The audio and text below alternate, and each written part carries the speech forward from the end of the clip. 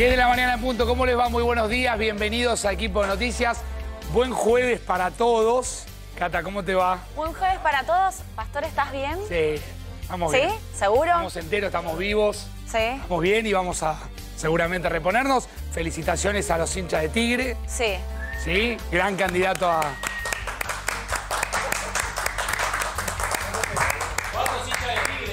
No. Dios mío, veo, veo, veo una intención generalizada de que Yo te River... pregunté si estabas bien. De que River Trastalle, yo estoy muy bien. Tenés que poncharme a mí directamente. ¿Puedo Sí. ponchar el plano general? Gracias. Gracias, Dire. ¿Podemos Sí. arrancar el noticiero o no? No está- Bueno, listo. Un lindo día, ¿no? Lindo día. Lindo eh, día. fresquita de la mañana, qué difícil va a ser. Fresquita de la mañana, peor hubiera sido otra cosa. Eh, 10 grados, no, 16 grados 2 la temperatura Sí. en la ciudad de Buenos Aires, veo bien, ¿no? 10 2 la temperatura en la ciudad de Lo que Buenos pasa es que hace Aires. frío en otros lados. Teneme. No, Cata. Vamos a comenzar de último momento así, vamos.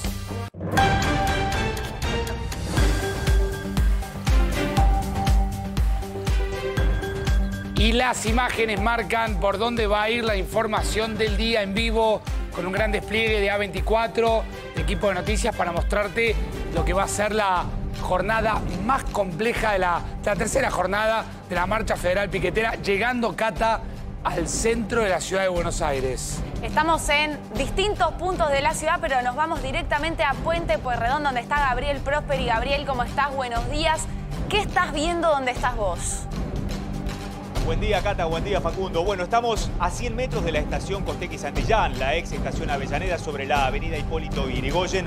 Ya como ustedes ven, las primeras columnas que han bajado justamente del tren están aquí apostadas, esperando más manifestantes justamente que vienen del sur del Gran Buenos Aires para ir hacia el puente Pueyrredón. Aquí estamos a unos 300, 400 metros del ingreso al puente Pueyrredón. Allí se van a concentrar, van a esperar aún más manifestantes y van a marchar hacia el centro de la ciudad de Buenos Aires, específicamente a Plaza de Mayo. Seguimos paneando, como ustedes ven, hacia lo que es justamente el puente Pueyrredón y ustedes van a ver ya también agrupaciones como el MTR, como Barrios de Pie, que están llegando de diferentes lugares del país. Por ejemplo, hay columnas de barrios de pie que han llegado en micro desde la Patagonia, específicamente desde Cultralcó, Neuquén, un lugar muy simbólico de los piquetes porque allí en el año 1997 comenzó justamente esta modalidad piquetera Bien. cortando rutas para manifestarse en las crisis económicas de aquel entonces. Bueno, desde Neuquén, Cultralcó, llegan algunas columnas también de Río Negro y ya también se están concentrando aquí, Facu Cata, para que ustedes vean la masividad con la que va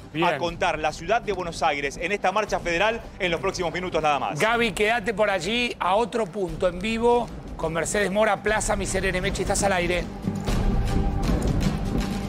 ¿Qué tal? Muy buenos días, Facu, Cata, ¿cómo están? Estamos en Plaza Miserere, donde de a poco ya empiezan a llegar los manifestantes que cerca de las 12 del mediodía van a comenzar a marchar. Como verás, han llegado en grupos bastante grandes, ya se han desplegado las banderas también, algunos lo hicieron mediante el tren, bajando aquí en Estación 11, y otros, y se espera que lleguen más, lo hacen con micro. ¿Dónde van a bajar? En Belgrano e Irigoyen. Ahí van a dejar los micros y van a venir caminando hasta este punto que es Pueyrredón y Rivadavia. A partir de las 12, 12 y media, lo que van a hacer es caminar contramano por la avenida. Hay un operativo policial que va a acompañar para que, por supuesto, no tengan mayores problemas con los automovilistas. Van a ir cortando el tránsito para que puedan ir avanzando hasta llegar a Plaza de Mayo. Gracias, Mechi. Ya volvemos con vos. De acá nos vamos a Constitución, donde está Guillermo Murphy, en otro de los puntos. Guillermo, ¿cómo estás? Buenos días. Hola Cata, buen día. Exactamente aquí esperando que alrededor del mediodía lleguen todos los manifestantes de la zona sur de nuestro país, del Gran Buenos Aires y del interior de la provincia de Buenos Aires, aquí a la zona de Plaza Constitución. Te cuento, Cata, que eh, hace un rato había muchos manifestantes aquí que en, en la línea Roca fueron hacia Avellaneda para sumarse a los grupos que están ah, ubicados ahí en el puente Pueyrredón y luego sí venir todos juntos hacia este sector. Recién llegó un camión, que es el que estamos viendo, con banderas de organizaciones sociales, está ahí esperando que lleguen todos los manifestantes y cuatro agentes de la Dirección de Tránsito de la Ciudad de Buenos Aires, ahí fíjate, sobre la calle Lima. Están aquí esperando a ver cómo se va a desarrollar el operativo. Discreta presencia policial hemos observado hasta el momento. No hay mucho, ah, pasan de tanto en tanto algún patrullero, alguna moto para ver si está todo en orden. Por el momento aquí esperando a los manifestantes que van a llegar de la zona de Avellaneda y del interior de la provincia de Buenos Aires y del Gran Buenos Aires también a través de la línea Roca. Guillermo, quédate, tercera jornada de la marcha federal piquetera en distintos puntos de la ciudad de Buenos Aires, cuatro posiciones en vivo. Y vamos a ir a donde confluye efectivamente la eh, tercera jornada, la marcha federal general, la marcha federal piquetera que comenzó el día martes, confluye, se especula con la posibilidad de que haya más de 200.000 personas, donde está Diego de Nicolás en vivo en este momento en el centro de la ciudad de Buenos Aires, en la Plaza de Mayo. Diego, estás al aire.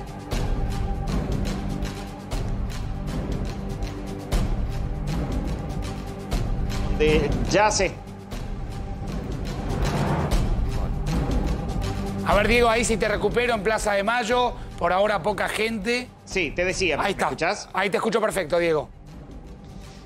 Sí, Facundo, acaba de confluir todo y poco a poco se está preparando la Plaza de Mayo para la realización de este acto. Fíjate que delante de la Casa Rosada, eh, sobre la Plaza de Mayo y dando espaldas a la Rosada, se está armando ya a esta hora de la mañana este escenario que va a incluir también una pantalla gigante. Se están configurando las distintas columnas de audio que van a estar tanto en la parte frontal como a mitad de la plaza y en la zona más cercana a la calle Bolívar.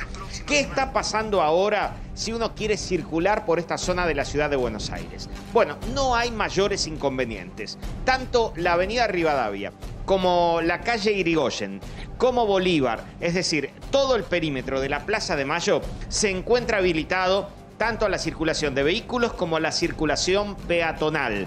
Esto, obviamente, va a ir restringiéndose con el avance de la mañana, pero por ahora todo es normal aquí, mientras sobre la Plaza de Mayo, insistimos, ya se comienza a armar el escenario, la pantalla gigante y las columnas de audio para el acto.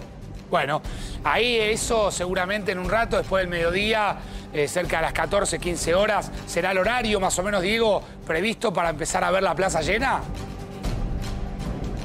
Claro, porque eh, de acuerdo a lo que han dicho los organizadores, eh, las columnas comenzarán a avanzar a partir del mediodía, eh, quizás entre las 12, las 13. Se estima que confluyan aquí alrededor de las 14 y sí, a las 15 está formalmente convocado el acto central. Bien, bueno, todo el despliegue obviamente lo vamos a sumar rápidamente a Ramón Indart eh, y a Clarita Salguero con más información. Ya volvemos con Gabriel Prosperi, con Guillermo Murphy, con Mercedes Mora y con Diego de Nicolás. La imagen de la cobertura especial de A24 todas las columnas que confluyen donde estaba recién Diego de Nicolás, pero vamos a ver lugares estratégicos, sobre todo los lugares de transferencia, Retiro, Constitución, Plaza Miserere, el barrio porteño de Once, serán los lugares donde llegarán muchos de los manifestantes. Y cuando decís mucho, Facundo, son muchos, venimos cubriendo en A24 cómo vienen marchando desde las provincias y se ve una multitud a ver, hay muchas consignas, pero la principal tiene que ver con los planes potenciar trabajo. Sí. Y ahí eh, hay varias discusiones en el medio. Lo cierto es que la imagen de hoy es potente, Ramón. A ver, la, imagen va a ser potente, la cuestión es sobre todo por esto. Desarrollo el que dice, que nos decía ayer, bueno, es una protesta contra el gobierno en general. La plaza de Mayo, va a estar llena, me decían los organizadores, sí, sí, más de 200.000 personas va a haber. Así que, como bien decía Diego, van a confluir. El acto central va a ser a las 3 de la tarde, seguramente se retrase. Y van a cerrar como oradores Beliboni y Silvia Sarabia, así que hasta entrar a la tarde, 5 o 6, imposible transitar. Se sabe, digamos, eh, barrios de pie, eh, disidente eh, y polo obrero, seguro, Beliboni y Silvia Sarabia. Ahora, vos habías dicho también que podían participar los ATE, una parte de ATE. Había sectores de ATE, sobre todo de ATE de Jujuy y algunas provincias en el sur que dijeron, bueno, nosotros vamos a empezar a participar y no se descarta que estén. Me parece, ayer cuando Kicillof vio algunos aumentos en provincia de Buenos Aires, también tiene mucho que ver con esto. Hay mucho gremialista que lo que te dice es, no puedo ir, la verdad que no puedo poner la cara ahí, porque están, está el Polo Obrero, eh, hay otras organizaciones, pero sí que la imagen nos va a venir bien a todos como señal de protesta. Les propongo a los cuatro, eh, mientras vamos eh, y venimos en vivo permanentemente, Clarita, buen día, fijar la- la- los títulos centrales de este reclamo, algo recién hacía referencia Katy Ramón. Eh, vamos a los cuatro o cinco puntos Si centrales. bien, buen día, si bien la consigna es trabajo genuino y no asistencialismo, esto es lo que dice este movimiento federal piquetero, la mirada está puesta, como adelantaba Ramón hace unos momentos, en potenciar trabajo. El gobierno, a través de desarrollo social, se mantiene en que no va a ampliar los planes sociales potenciar trabajo. ¿Por qué razón? Porque quiere la transición, quiere ir dejando el potenciar trabajo para incorporar a la gente al mercado formal, al mercado Pero registrado. eso está sucediendo en el mientras tanto. Muy lentamente. Muy lentamente. Muy lentamente. Desde el año 2020 ahora solamente 7.000 potenciar Claro. trabajo lograron entrar al mercado formal. Va muy lento, no califican para determinadas tareas, no tienen, a ver, el nivel mínimo educativo. Entonces todo esto ta- obstaculiza. Quiere decir acá para que quede claro, Cata, Ramón, eh, Clarita, eh, vamos a, a la segunda consigna. La idea es no ampliar la cantidad de planes, Sí. Sino ampliar trabajo. sino ampliar o intentar trasladar planes a puestos de trabajo, pero eso es muy difícil, ¿no? Es, es todo muy difícil. Pues Es un entramado complejo, porque la gente, ¿qué va a hacer? Si vos no tenés trabajo o si te ofrecen un salario mayor con este plan, más que eh, si vas a ir a, a un trabajo precario donde no juntas esa plata, la gente, a la gente no le queda otra. Eso, Cata, es la el tema, claro. el tema es qué pasa con este país si alguna vez va a discutir no eh, a tapar con parches eh, Bueno, hoy no. planes sociales. ¿eh? Lamentablemente hoy no no. se puede. Y después tener la otra, el otro costado, que recién hablaba Aníbal Fernández, el ministro de Seguridad, diciendo, bueno, eh, el contacto está para evitar la violencia, para que no haya. Dijo, yo no soy de los que, tiene, que quiere ir con un palo a frenar una manifestación, sino que vamos a ir ordenando para que no haya ningún desmadre. Son 200.000 personas, ¿no? Segunda consigna para seguir eh, mechando información y ya vamos, volvemos en vivo. Cuatro posiciones en vivo en distintos lugares. Tercera jornada de la marcha piquetera. Clara, segunda consigna. que se amplíe potenciar trabajo. ¿Esto qué significa? Que aquellos que están en el registro de la economía popular, que son 3 millones de personas que están inscritas, Sí. entren y se sumen al millón doscientos mil beneficiarios de potenciar trabajo. Recomposición de ingresos. Esto también está asociado, Facundo, a potenciar trabajo porque, ¿qué quieren? Que ya no sea más de un valor del 50% del salario Claro. mínimo vital y móvil, sino un 100%, es decir, llevarlo a 38.940 pesos. Y algo que eh, se reflota, que es un bono, que se vayan ahí. actualizando el pa- pago de bonos. Parame que ahora actualizamos lo del bono. En algún momento, Cata, Ramón, habíamos hablado de que, eh, que- que existía la posibilidad de que se sumaran incluso sectores del sindicalismo a la marcha piquetera. Vamos con eso. Eh, entonces, ¿hay sindicalistas? ¿No hay sindicalistas? Mira, por ahora lo que está marcando, primero por un lado la CGT, olvídate, no tiene nada que ver con esto, inclusive estas organizaciones quieren entrar en la CGT con la UTEP y le dicen, de ninguna manera no nos representan. Después hay gremios medianos y pequeños y algunas localidades, como te decía, tema ATE, en algunas provincias que sí están diciendo, nos podríamos empezar a plegar, pero no de forma masiva. Están, vos fíjate que están jugando por otro lado con Moroni, con reapertura de paritarias, con el bono que ya dieron, pero después esto, esta imagen, es lo que dice Clara, es la gente que no tiene laburo, que mostramos allá en Rosario. No tengo laburo, ¿a quién le pido? No me da laburo el sector privado. Voy a una organización y le digo, yo quiero trabajar. ¿Qué dice la organización? Anotate acá, yo voy a luchar para que vos tengas un plan, trabajar. Bueno, ese plan no hay más.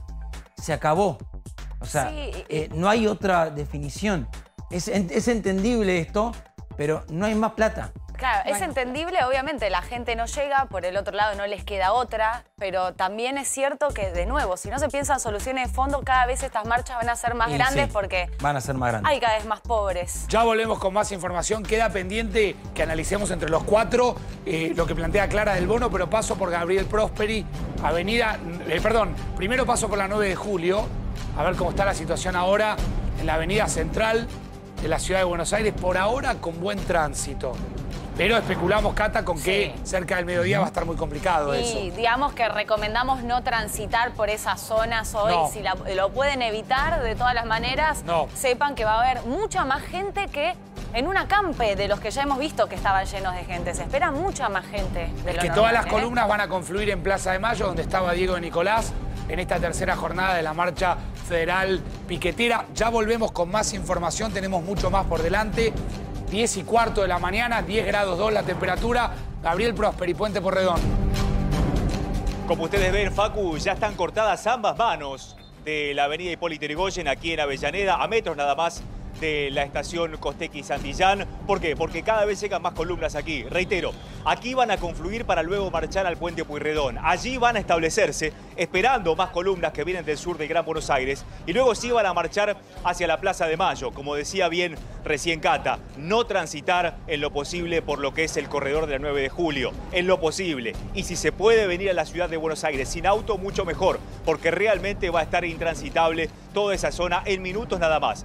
Esto es el panorama que tenemos en estos momentos, con la columna que teníamos de la FOB aquí de frente sobre la avenida Hipólito Yrigoyen, en la mano que va hacia el puente Purredón y ahora en la mano contraria, la que va justamente hacia el Gran Buenos Aires, también hay eh, el movimiento de los trabajadores desocupados Aníbal Verón, está el MTR en la vereda, como decía más temprano, también hay columnas de barrios de pie que han llegado en grupos en micros desde la Patagonia, desde Neuquén, desde Río Negro. Es decir, realmente este es un polo de concentración muy pero muy importante que va creciendo con el correr de la mañana. En minutos nada más van a comenzar a marchar hacia el puente Puerredor. Toda esta zona está ultra custodiada por personal de policía bonaerense y también de la Policía Federal. Recordemos justamente que estamos en jurisdicción nacional sobre el puente Puerredón y allí tiene que haber fuerzas federales. Esta es la circunstancia que se ve ya prácticamente sin tránsito, solamente con las calles transversales con algunos automóviles, un caos realmente si transitan por aquí. Los automovilistas, por supuesto, tienen que tener la paciencia suficiente para transitar. Este es el polo de concentración sur. Estamos, reitero, en Avellaneda, a metros nada más de la estación Costequi Santillán, rumbo al puente Porredón. Bueno, quédate Gaby ahí, quédate Gaby ahí, punto de concentración de la zona sur, en distintos lugares, A24 en vivo. Ya se prepara Lucio Di Mateo, día clave para la economía argentina, porque hoy se anuncia el índice de inflación. Mercedes Mora en vivo, ¿dónde estás? En Plaza Miserere, Facu, aquí en Once, donde cada vez más se llena de gente porque empezaron a llegar en algunos micros que estacionaron sobre Avenida Rivadavia, también lo están haciendo desde Belgrano e Irigoyen, desde allí vienen caminando con sus banderas y el punto central de concentración será justamente aquí en la plaza, sin interrumpir el tránsito por ahora pero en algún momento más cerca del mediodía esto se va a complicar porque justamente lo que van a hacer, Facu, es caminar hacia Plaza de Mayo por Avenida Rivadavia en sentido contrario a los autos. Para esto ya está previsto un operativo de la policía que también está aquí en el lugar, que van a ir cortando de a 200 metros para que ellos puedan ir avanzando y no tener ningún tipo de problema con los automovilistas. Fíjate, mm. empiezan a llegar también eh, caminando porque han dejado los micros apostados,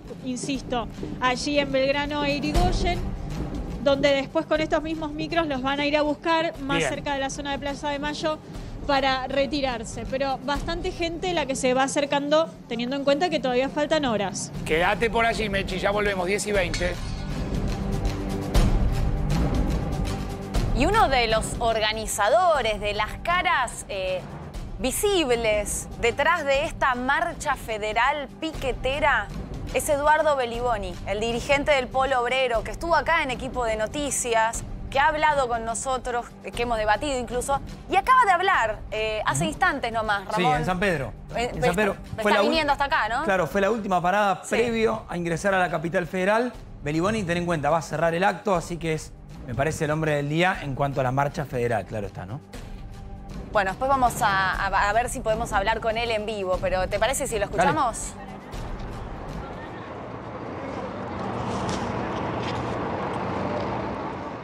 En la última parada de todo lo que es el NOA y el NEA, centenares, miles de compañeros aquí en San Pedro para llegar en horas a Buenos Aires, a Constitución, a Retiro, a Once, para emprender la marcha en el día final de la gran marcha federal, de la gran marcha del pueblo contra el ajuste que está reuniendo muchísimas adhesiones del movimiento obrero ocupado, miles y miles de trabajadoras y trabajadores se han unido en esta gran jornada, en esta gesta histórica en la Argentina.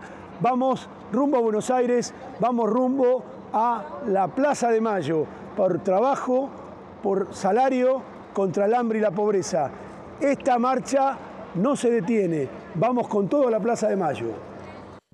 A ver, las consignas que decía recién Beliboni, trabajo, contra el hambre.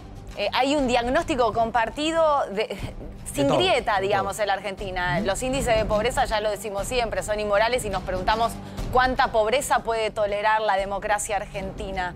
Ahora bien, eh, la figura de Beliboni en la Argentina como un ejemplo, ¿no? Como concepto de eh, gente que administra, organizaciones sociales que administran Bueno. planes. Es claro, y sí, Cata, a ver, ese es el otro costado. Hay que discutirlo también. Ese es el otro costado. Polo Obrero, la Corriente Clasista y Combativa de Alderete, el MTR, organizaciones sociales que administran planes sociales. A ver, todos esos micros que tenés atrás, es otra cuestión de esta marcha federal. No se pagan solo, digamos. ¿no? El tipo que maneja el bondi no lo hace por solidaridad con los trabajadores. Bueno, ahí hay todo un sistema también Hay un que hay que discutir. Que hay que discutir cómo se administra, cuánto aporta el que le dan el plan social, eh, cómo se manejan, por qué tiene que haber un intermediario. Eso nunca quedó claro. Cada vez que pones el foco en eso te dicen, bueno, vos le estás haciendo el juego a la derecha. Eh, Es, un tema. ¿eh? porque estamos entrampados hace años en discusiones bobas, desde el progresismo bobo o desde la derecha que siempre dice lo mismo, pero en el fondo no se discute algo que es un problema, que es vivir de los planes sociales en la Argentina. 10.21 de la mañana, 10.22. Vamos a volver a hablar, un tema pendiente que quedó con Clara, ya se prepara Lucio y Mateo. Ya volvemos en vivo, cuatro posiciones para lo que va a ser una jornada que va a requerir mucho que miremos qué pasa en la calle. En la calle, Clarita el bono. Esta- estas placas, estos puntos que estamos viendo, de alguna manera dejan trampada a 5 millones de personas, entrampadas en la pobreza entre el asistencialismo y la pobreza. Hablábamos de la ampliación de potenciar trabajo, del incremento del aumento de potenciar trabajo y algo que se suma como una novedad en esta marcha de los tres días, la actualización de bonos para tareas de cuidado. ¿Qué es lo que traen los piqueteros a colación en esta marcha? Un bono que se dio en plena pandemia, en diciembre del 2020, para 50.000 personas que eran todas aquellas que estaban encargadas de merenderos, de comedores y del cuidado de personas mayores, de personas discapacitadas y de niños. 50.000 personas a las que en diciembre del 2020 se le dio un bono de 5.000 pesos. ¿Qué es lo que dicen en esta marcha piquetera? Hay que actualizar ese bono. Hay que actualizar el bono a hoy para 50.000 personas que en su momento eran tarea esencial porque realizaban actividades de cuidado. Bueno, quédate Clarita, más información. Ya se suma eh, también Ramón con Cata con más datos. Guillermo Murphy en Constitución en vivo. Guille, estás al aire. A ver si lo recuperamos a Guillermo mientras vemos Sí, las Facundo, cuatro posiciones. Ahora te escucho en bien, Guille, dale. Constitución hemos visto que hay grupos que bajan del tren y vienen directamente, no se quedan aquí esperando a las columnas, sino que van caminando directamente hacia la zona de 9 de julio para llegar al obelisco. Eh, directamente, ¿eh? son grupos que van viniendo cuando llega algún tren del sur del conurbano bonaerense, ellos siguen caminando, no se quedan aquí esperando a las columnas que van a venir del puente Pueyrredón, de otros puntos del conurbano bonaerense, para concentrarse aquí como estaba previsto. Estamos en la esquina de Lima y Brasil, justo en la esquina de la estación Constitución. Bien. Y nos llamó la atención eso que les quería remarcar. Grupos que, independientemente de las columnas, siguen caminando hacia el centro de la ciudad de Buenos Aires. Bueno, quédate, Guille, ahí, claro. Las estaciones de transferencia, repetimos, Retiro, Constitución y 11, muy cargadas porque hay mucha gente que llega eh, por ahí. En un día muy complejo, Lucio, ¿cómo te va? Buen día. Vamos a hablar de la economía porque hoy se conoce la cifra de la inflación a las 4 de la tarde. Sí, así es, Facundo. Hoy en realidad es la confirmación de lo que estamos viviendo, digo, porque la verdad que si yo te, te digo cómo está la inflación, no hay mucha duda de que está en un número extremadamente algo, este, extremadamente alto. A las 16 va a ser eh, el dato. Ya les anticipo que lo más probable, lo más probable es que el número se ubique entre 5,7 y 5,9. Es decir, la inflación eh, que se conozca hoy para el mes de abril va a ser 5 5,7, 5,8 o 5,9. Ese es el número que está barajando en el INDEC. Para los que se empiezan a preguntar si el INDEC no tocará los números, desde ya digo que no, que de ninguna manera, y menos aún con un titular del INTEC que le gustaría ser ministro de Economía. Estamos hablando eh, de Marco Labaña. No se va a subestimar la inflación, no va a dar ninguna maniobra rara. Ahora, Eh, interesante, nada- Lucio, nada porque por el estilo. si va a 5.7, 5.9, Sí. creo que vos lo habías anticipado acá, por primera vez eh, Superan a Macri. Supera la, línea interanual de Mauricio Macri. Claro, exactamente. El peor número de Macri fue en el año 2019, cuando terminó con un 56% de inflación. Y hoy se va a confirmar que el Ministerio de Economía, encabezado por Martín Guzmán, y después el equipo económico, ponía a quien quieras. Querés poner a Culfas, querés poner a, Sí. a Pese, a Feletti, no sé, es Claro. un tema subjetivo. El ministro de Economía es Martín Guzmán, el presidente de Alberto Fernández, no hay ninguna duda de eso. Ese equipo económico y este presidente van a lograr tener un número peor que el de Macri. Peor que el de Macri. Cuando no ocurre con otros números de la Sí, economía. Digo, cuando vos ves estos números de la economía, s- sacando la pandemia, ¿no? Porque si uno va a medir desocupación, pobreza durante la pandemia, es una situación excepcional. Así que vamos, hoy tenemos la confirmación de que en cuanto a la inflación se está yendo peor de lo que nos fue con el gobierno de Mauricio. Quédate, Lucio, que en un rato volvemos con otro título económico. Pero nos vamos directamente a la Plaza de Mayo. Allí está Diego de Nicolás. Diego, eh, mostranos un poco, porque ahí va a ser el acto central. Quiero ver cómo lo están armando, qué están disponiendo. Si nos puedes mostrar un poco, qué hay hasta ahora. Mira, Cata, eh, te voy a mostrar lo que se está armando hasta ahora, que son algunas primeras cosas, pero son símbolos de lo que será después toda la infraestructura. Vamos a arrancar quizás por uno de los pu- puestos más eh, llamativos que siempre hay en estas manifestaciones, que son los puestos de comida. Por ejemplo, estas parrillas hechas con tambores, Sí. donde en un ratito nada más ya las brasas van a estar ardiendo y cocinando quizás eh, hamburguesas o choripanes para vender. Obviamente se han colocado tablones donde hay Pregunta precios de- las y cosas que venden, si hay algún vendedor, se van Diego. a vender. A ver, vamos, vamos a ver, acá están los chicos tratando de armar. Vamos a ver si, si nos atienden un segundo. Chicos, no, simplemente queremos saber en cuánto se van a vender los productos para saber más o menos la gente que viene eh, acá.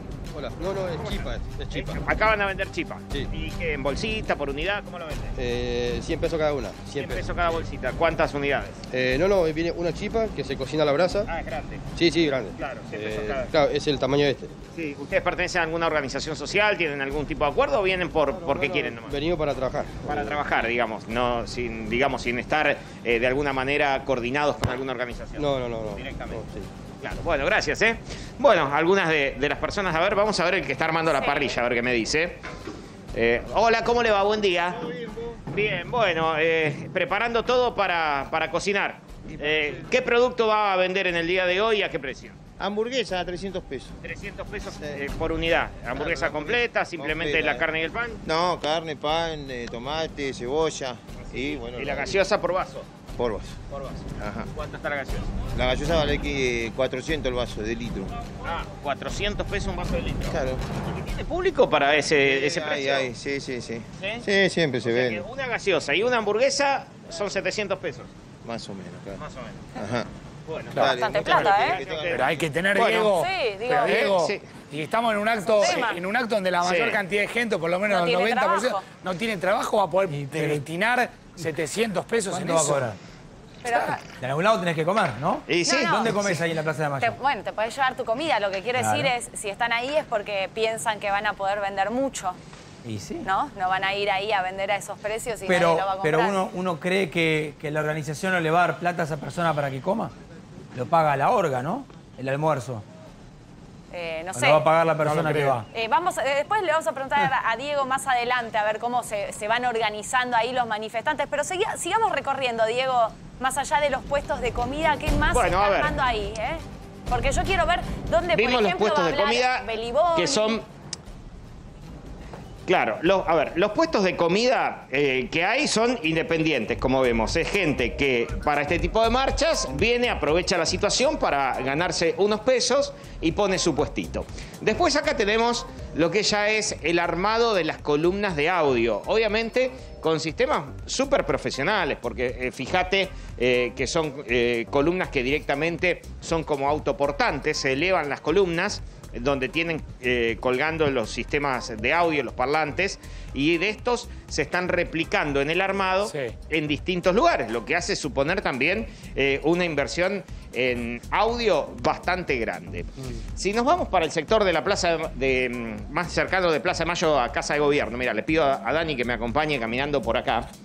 Porque vas a ver el escenario principal. Claro, recordemos- hasta lo que estimamos nosotros es donde se van a colocar eh, los oradores. Claro. Pero eh, están también armando a los costados unas pantallas gigantes. Veremos si los oradores quedan en el medio de las dos pantallas que se empiezan a armar, Facu. Bueno, recordemos, Diego, que lo que está mostrando ahora con los preparativos en un rato, pero no dentro de mucho, dos, tres de la tarde, será el horario de mayor pico de gente, mayor caudal de gente. Será muy simbólico con el presidente fuera del país. Sí, todo, Bueno, todo pero de mirá, imagen, ¿no? El mirá presidente frase. justo fuera del país también. Estaba buscando esta frase. Alberto Fernández al diario El País, Sí. ¿cuándo? El martes. Sí. Le dice el periodista, pero usted tiene una inflación incluso superior a la que había cuando llegó al gobierno. Sí. ¿No? Y Alberto dice, no, no, no, 54% de heredé. Hasta ahora no llegamos. Bueno, ¿Sos Pero el- está a punto este año, van camino al 60. Digo, por lo que dice Lucio. No es el peor índice de inflación de los últimos 48 gobiernos. horas. Claro, o sea, pero vos entendés. A las 16 se va a conocer que el número. ¿Entendés lo, lo ajeno a la realidad que estamos Sí, sí. cuando un presidente te dice eso y a las 48 horas la realidad lo va a. Lucio, y vos lo venías marcando de alguna manera. Es la primera Sí. vez que eh, el gobierno va a superar. Digo esto porque va a ser seguramente un tema y un título que la oposición va a utilizar en términos políticos. pero pará, perdón. Mucho. Todo el tiempo. Sí, más allá Pará, de la pero- oposición de, eh, usándolo o no usándolo, pará, digamos, el problema es la alguien- gente, no, la gente que ver, se queda... Pero que, que un Duhovne va a levantar la bandera política y decir, ven que él, él es peor, la dejaste Claro. en 54. Bueno, pero los números son los Sí. números. Bueno, no, tiene no, pero pará, no, no, no. A lo que voy es. No, pero a lo que voy es que no salgan a las 5 de la tarde esos, esos políticos No, a decirnos, viste que éramos, bueno, la dejaste Pero- en. Cristina te la dio en, tre- en 30, vos la llevaste a 54 y este tipo la lleva al 60. Pero No, es una, a ver, es- es ¿Qué una bandera levantan? Nadie ha podido controlar la inflación en la ¿Qué bandera Argentina. Ahora, la- eh, es llamativo el índice de inflación del gobierno del Frente de Todos. Es Lucio, Ya no llamativo. sirve, Cata, la lo- comparación. Espera, espera, y esto estamos- lo decía Facundo, el tema de que la gente ya no distingue la oposición y el oficialismo, de quién hizo mejor las cosas Seguro. o quién las hizo Lucio. peor. No, yo lo que digo es, la- la- ¿cuál, es- cuál es la diferencia entre lo que vivimos hoy y lo que vivimos hace, hace un tiempo? Porque la verdad que, digo, el gobierno podría decir, bueno, pero el el- en el 2019 fue 56% de inflación cuando, cuando la economía no, no crecía. Hoy la economía crece. Eh, me parece que es un argumento flaco, hoy es una excusa. La diferencia, y ustedes cuando se lo diga van a estar de acuerdo porque lo sentimos, lo percibimos y hay que ponerlo en palabras. La diferencia es que los argentinos llevamos muchos años seguidos de vivir mal. Claro. Eh, O sea, no es que, porque en el 2014, el 2016, cuando la inflación trepa al 40, venía del 25 aproximadamente, eh, teníamos 20, 25% de pobreza, veníamos de año de crecimiento, algunos altos, otros bajos, pero veníamos de año de crecimiento. Después tenés 2016, 2017 que un poquito la economía repunta, 2018 le vamos a pedir guita al fondo porque si no se demorona todo. 2019 tenemos recesión. Y en el 2019 la inflación del 56 es con los últimos aumentos de Claro. Que, el gobierno pisó para ver si tenía Ahora, alguna Lucio, chance claro, de claro. repuntar las Lo- elecciones. Entonces, un minuto. La, en la comparativa es, hoy estamos más cansados de vivir mal. En vivo lo que estás viendo es Plaza Miserere, de a poco los distintos lugares estratégicos se van eh, llenando. La idea, y hace poquito hablamos con Ramón en la radio, con Marcelo de Alessandro, era que las columnas fluyeran por la ciudad, que no se establecieran en, en distintos lugares y había una suerte de garantía. Digo esto porque eh, hay que remarcarlo, de que los micros no se iban a estacionar en lugares que, que afecten al tránsito. Ya lo que vemos es que no se va a cumplir eso, ¿no? Y- Digo, Y está más que claro. que no hubo llamado de Aníbal Fernández todavía para ordenar la cosa. Pero sí, se han juntado con el gobierno Sí. de la ciudad y han tenido por lo menos una charla buena con buena predisposición de, de ambas partes. Ahora en se- Javi Díaz va a chequear información del el tema seguridad. Mercedes Mora en vivo.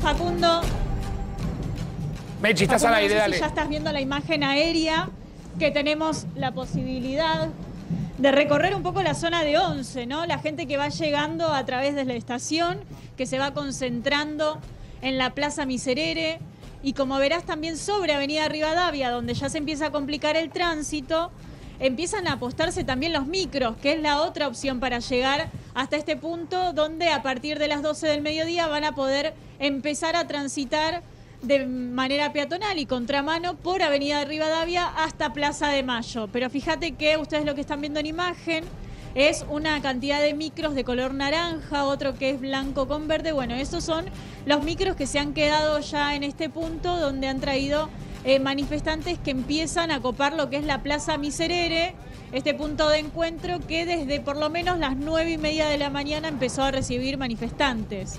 Bien.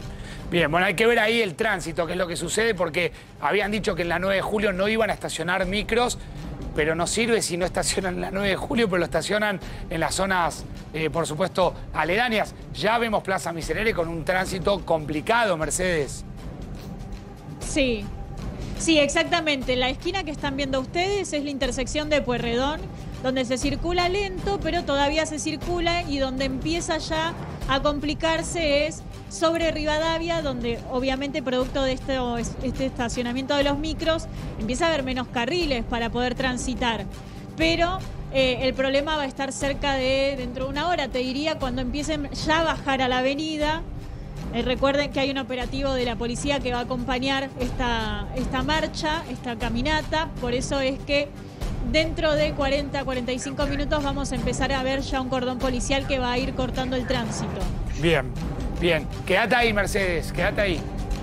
Y ahora vamos a ver lo que es la 9 de julio en estos momentos que a esta hora está fluyendo y funciona el Metrobús, pero como decíamos recién con Mechi, con Facundo, la cantidad de gente que hay supone que va a ser intransitable en poco tiempo este lugar que estamos viendo que es la 9 de julio y todas las zonas que involucran esta marcha federal que es multitudinaria. Por ahora uno mira, Javi, esta imagen y piensa que es una imagen de un día domingo. Poca gente, claro, mucha gente directamente ni fue al centro, pero por ahora se ve el tránsito fluir. ¿Cuál es el compromiso del ámbito de seguridad? Mira, la policía de la ciudad, buen día, antes que nada, la policía de la ciudad eh, lo que va a implementar, de hecho ya lo está haciendo desde anoche, porque hay ya una, un personal de avanzada que ha estado en distintos lugares para preservar las zonas incluso que van a manifestarse como epicentro muchos de los, de los piqueteros, de los grupos sociales. La policía va a tener una discreta presencia en los lugares de de obviamente convergencia por parte de las, de las manifestaciones, de las columnas que van llegando y demás.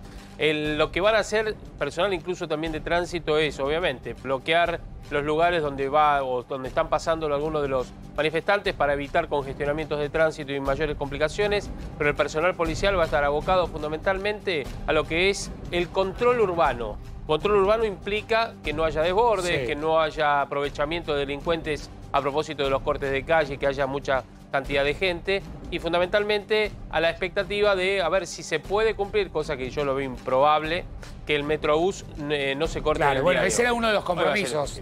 Hoy va a ser, imposible. Ese era el compromiso, que no corten el Metrobús, que no estacionen micros en la 9 de julio y que las columnas fluyeran, eh, es decir, que no se detuvieran en puntos de la ciudad para no complicar el tránsito. Yo lo veo muy complicado. En algunos momentos en donde las columnas tienen que cruzar cruzar, por ejemplo, la 9 de julio u otros sectores, va a ser complicado que no se corte. Veremos a ver si se puede cumplir. Ojalá se pueda hacer de manera organizada porque el epicentro, si bien va a estar en todo el microcentro de la ciudad, el epicentro va a ser la Plaza de Mayo. Ya volvemos en vivo, un dato de cada uno. Ya hay un título más económico de Lucio Di Matteo, un apunte más de Clara Salguero. Ramón, ¿dónde está el presidente mientras tanto? Bueno, en estos momentos, a las 9 horas Argentina, decían los voceros, son las 11 menos 20. Alberto Fernández comparte un almuerzo y realiza una visita a la Sorbona, donde recibirá una medalla honorífica, mientras que mañana a las 7 se reunirá con Macron. O sea, en Francia. En, está en Francia. Me quedo con, y me quedo con una última frase, perdón, que le dijo al país. Cuando él dijo, yo no creo que haya decepcionado a mis votantes. Sí. Entre el 2019 y el 2021, dos elecciones, el gobierno perdió 4 millones de votos. Claro, o sea, la, paliza de las PASO eh, son números, digamos. Por eso. O sea, está la evidencia. y más, allá de, esta gente que probablemente nunca no fue votante del peronismo, estás viendo en la calle algo que que bueno, que lo sentís vos del otro lado. Pienso, la, inflación la, siente la mayoría de los argentinos. Cata, eh, Ramón, pienso mucho en lo simbólico de este viaje del presidente Alberto Fernández. Tremendo. Eh, muchos hemos hablado en más de una oportunidad eh, en la previa que Alberto Fernández se constituyera en presidente. Y eso está donde, donde quería estar. Alberto quería ser embajador en España. Y se lo había manifestado un montón de gente. Si ah, ganaba el peronismo, previo a su candidatura, él quería irse de embajador a España. y finalmente termina en un día de, de los más complicados donde el gobierno por primera vez por primera vez va a superar la cifra de inflación de Mauricio Macri, termina muy lejos en Europa y diciendo esto, escucha. Desde el frente de todos le critican a usted haberse olvidado de los pobres, en contraste también con un, tibio comportamiento hacia la clase empresarial. Dicen que multiplicó sus ganancias en la pandemia, esa es la crítica principal de las filas de gobierno. ¿Está consciente usted, presidente, que usted ha decepcionado parte importante de su electorado? No, yo no he decepcionado parte de mi electorado, eso es lo que dice alguno. Yo no he dicho semejante cosa, no pienso semejante cosa. Yo lo que sí creo es que la pandemia afectó mucho a la sociedad argentina. A ver, esto que está Sí. diciendo el presidente Alberto Fernández es una respuesta, porque básicamente lo que parece a, a Cristina Fernández de Kirchner, a la vicepresidenta, a cada país donde va es como si agarrara el discurso de Chaco, de la vicepresidenta Cristina Fernández de Kirchner, y va respondiendo a cada una de las Sí. críticas que terminan básicamente en Cristina diciendo no estamos honrando a los que... que- nos votaron, no estoy conforme con tu gobierno, Alberto Cata, Fernández. Iba a pasar. El viernes habló. Ahora vamos a escuchar este corte de Cristina porque ahí e- esa es la respuesta. Pero iba a pasar cuando la vicepresidenta plantó, te lo dijimos el lunes, plantó los, lo- los aspectos principales diciendo, bueno, ya está, vamos al 2023 y esta es nuestra idea. Iba a venir la respuesta a la vicepresidenta. El tema es que la respuesta viene a 10.000 kilómetros de distancia. Digamos, el presidente se va a España para hablar de reelección y para responderle a Cristina. Una Cristina que en Chaco había reconocido que el gobierno no está cumpliendo con el acuerdo electoral. A ver, eh, escuchémosla Dale. a Cristina Fernández de Kirchner para entender un poco esta respuesta que da hoy el presidente. Mira. ¿Cómo hacemos para devolverle a la gente la esperanza y los anhelos? Porque esta es mi mayor preocupación y también mi mayor sensación de amargura, la confianza que nos depositaron, los anhelos, las esperanzas y la verdad que creo que no le estamos haciendo honor a tanta confianza, tanto amor y tanta esperanza que depositaron. Muchas gracias a todos y a todas. Muchas gracias. A ver, eh, es- es- esta, esta frase de Cristina va a quedar para siempre, Para digamos, historia. marcada porque es básicamente... No hay Bueno. retorno con eh, el conformismo de, de ella que designó Alberto Fernández con básicamente Bueno. lo más importante que son las políticas económicas eh, del presidente Alberto Fernández. Del otro lado, a ver, Cata, eh, es la eh, autocrítica. Si bien Cristina nunca va a ser una autocrítica porque la vicepresidenta no realiza autocríticas, lo que está planteando en el discurso es notorio, es eligió mal al presidente de la nación. Sí, a ver, es tiene es que tener una, fuerte. resp- es- tiene una responsabilidad casi es a la par del presidente de la nación. No, No, puede ser opositor ahora. Bueno, un poco lo está reconociendo con lo que dice eligió mal al presidente. La- las preguntas son varias. A ver, el rumbo económico hoy ah, para la gente, para el bolsillo, es malo. Ahora, desde el kirchnerismo, de nuevo, ¿qué están proponiendo?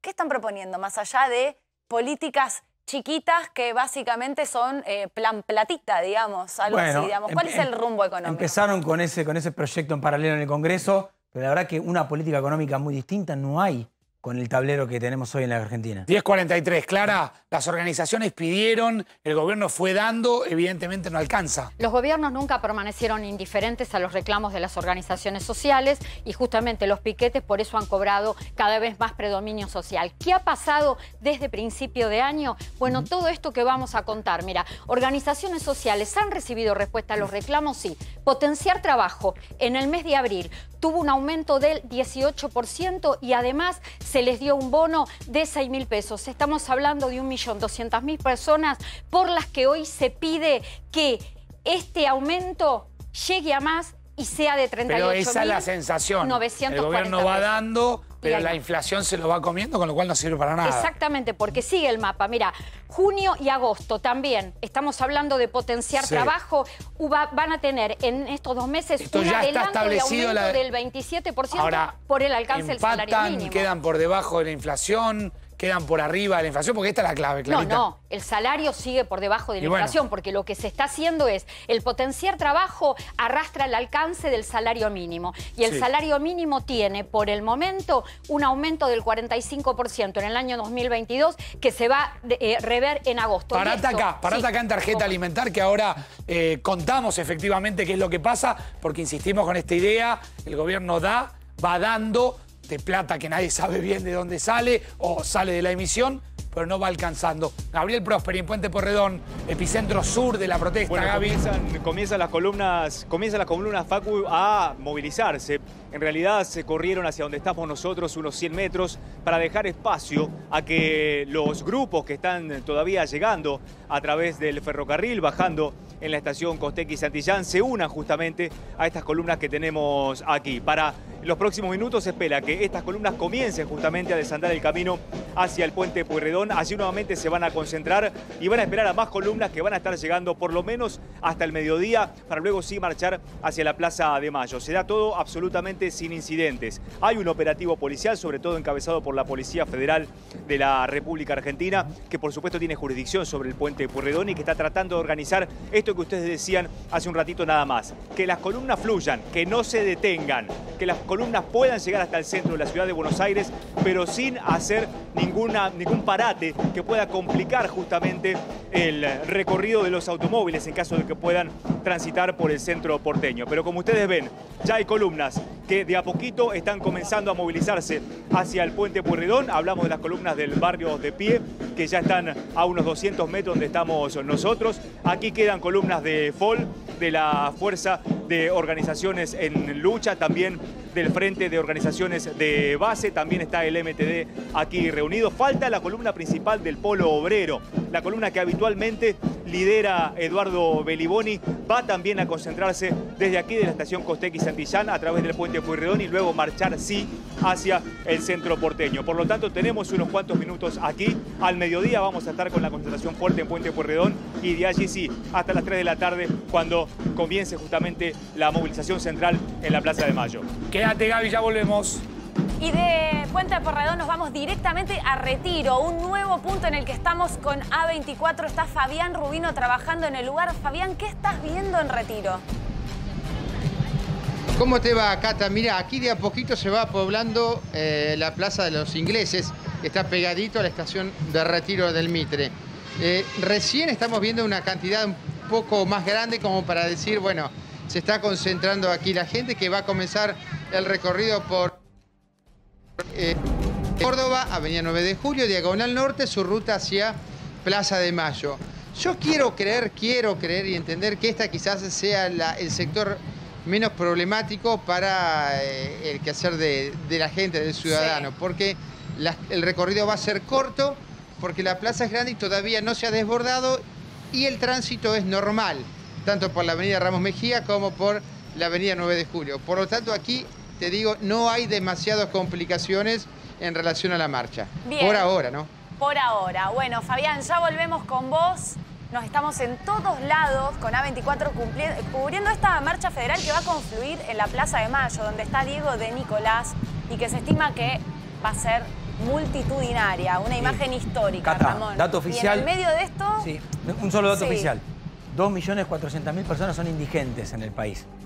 de- Digamos. repetí ese número. 2.400.000 personas son indigentes. Números O sea, oficiales, además. Números ¿eh? oficiales. Entonces, esta imagen es un- una gota en un océano de pobreza y de indigencia, lamentablemente. Sí, Bueno, cada vez hay, hay como una diferencia, hay una de- el problema de la Argentina es la desigualdad. y sí, lamentablemente sí. Pero, te- a ver, volviendo a lo que es la política dura. Sí. Porque vos dirás, bueno, entonces esta interna no tiene solución, Alberto Cristina, eh, y se van a enfrentar, supongamos, en el 2023. En el mientras Perfecto. tanto, Alberto Cristina, Pero, sí. claro, pero es una interna. Lo cual, digo, del otro lado, el que el dirigente de Juntos por el Cambio, si cree que esto está terminado, tiene que entender que sería una interna y después sería la elección general. Y en la elección general, ahí es donde el gobierno tiene que decir, mostrame a Macri, yo necesito tener a Macri enfrente. Bueno, y en ese sentido, el presidente se refirió al expresidente Mauricio Macri y esto dijo. Yo, yo confiaría un poquito menos en los números de las encuestas, que están muy manipuladas. Lo que digo sí es que yo tengo un solo problema que tengo que lograr, el único, tengo un objetivo que lograr, y que nunca más el neoliberalismo gobierna en Argentina. Porque eso fue Macri. Mi, mi gran adversario, mi gran enemigo es Macri. Más allá de Bien. que el presidente le está respondiendo a la vicepresidenta y diciendo cosas que quizás antes solo decía en off the record, Sí. en el exterior y que eso en el manual de la política no está recomendado, eh, se está viendo por primera vez que el presidente está diciendo más lo que piensa, ¿no? Sí, Totalmente. En Más allá de si es bueno o malo, digamos, pero está diciendo No, no, lo que pero piensa. es cierto. Por eso yo te digo, el discurso de Cristina en Chaco marcó eso. Fue el presidente diciendo, bueno, hasta acá. ¿Por qué? Porque dijiste, primero, primero la ninguneada, ¿no? Hubiera elegido a Massa, que tenía un partido, y lo puso Alberto Fernández por debajo de Dair y de Emilio Pérsico. Como para que tengas una idea de dónde lo puso Cristina Alberto Fernández. Y después planteando esto de que no estamos cumpliendo con la promesa electoral. O sea, directamente derrumbó todo lo que armó. Bueno, a partir de eso la respuesta del presidente en Europa. Claro, que no están cumpliendo con la promesa electoral. Queda más que claro, Eso es ¿no? verdad, ¿no? Parece que queda claro. Bueno, y el contexto es el que va a traer Lucio, que tiene que ver con la inflación, con los alimentos. Hace pocas horas, pocos días, Lucio aquí eh, dio, midió de alguna manera, en base a lo que había medido una consultora privada, lo que los alimentos habían subido en la primera semana de mayo. Y lo comparábamos, Lucio, con la primera de abril, y ya de por sí nos generaba eh, preocupación en el segmento, repito, de alimentos. Sí, eh, el, el ti- el título que vos quieras ponerle, zozobra, incertidumbre, angustia, 1,2 en una semana de mayo. Dos datos para que entendamos en dónde estamos parados, ¿no? Recién Ramón decía el número de indigentes de 2.400.000. Ese número es del segundo semestre del año pasado, con lo cual, digo, si vos actualizás con la inflación de hoy, claramente Argentina tiene más de eh, 3 millones de personas que no comen lo suficiente. Y el otro dato es, ahí Clara daba, potenciar trabajo subió 18%. ¿Saben de cuánto va a ser la inflación del primer cuatrimestre del año cuando se conozca abril? 22% más. Claro. Entonces, ahí primer, repetí, Lucio, el primer cuatrimestre. el primer cuatrimestre del año, cuando hoy se conozca el número de inflación, que, insisto, va a ser lo más probable 5,7, 5,8, 5,9, va a ser 22% o más. Entonces, eh, y, a- y además, este, me juego que seguramente alimento va a estar por encima del promedio. Claro, Alimento va a seguro. estar por encima Seguro. del 6% y quizás por encima del 7%. Entonces, hoy vos lo que, o sea, no estás teniendo una inflación de que aumenta el costo de los viajes al exterior, aunque aumenta el costo de los, de los pasajes aéreos o de la ropa de marca, porque eso no, no le pega a los más humildes. Hoy estás teniendo una inflación que cada vez te condena más a Argentina Bueno, debajo de la línea de la pobreza. quédate ahí, Lucio, porque quiero volver con Clara, que, que- que son medidas insuficientes. El gobierno activa medidas, pero lo que acaba de contar Lucio pulveriza cualquier medida, que es la inflación. Una inflación desmedida en alimentos, una inflación desmedida en indumentaria, y así lo podríamos eh, eh, desandar gente- por segmento. Clarita, Las tarjeta- familias Sí. vulnerables consumen lo que más están consumiendo son harinas. Es decir, va y compra con la tarjeta alimentar lo que llena la panza, el estómago, pero no lo que alimenta. Entonces tenemos un problema de malnutrición. Pensemos que la tarjeta alimentar llega a 4.100.000 chicos, representa a 2.400.000 familias. La inflación desenfrenada no solamente está generando pobreza e indigencia, está desvirtuando uno de los planes sociales más importantes de la Argentina, al- por el que se le da respuesta al asistencialismo. Bueno, en mayo se incrementó un 50% y ni se pudo con eso. Claro. ¿Por qué vamos, Pero vamos acá, pero Clara, por eso está la plaza llena. Por eso, o va a estar hoy la plaza llena. Por eso hoy la plaza llena se va a enterar del número de inflación. Porque las medidas que el gobierno pone en la calle no terminan de alcanzar. No terminan porque la inflación te, lo, te, te come absolutamente todo. Porque si vos diste el 50% de aumento en mayo en tarjeta alimentar y no te sirve porque en un minutito te queda, o en 15 días te queda pulverizado ya. La tarjeta alimentar, ¿qué es lo que se hizo? Se unificó en el mes de noviembre pasado con la asignación universal por hijo y se liberó. ¿Esto qué significa?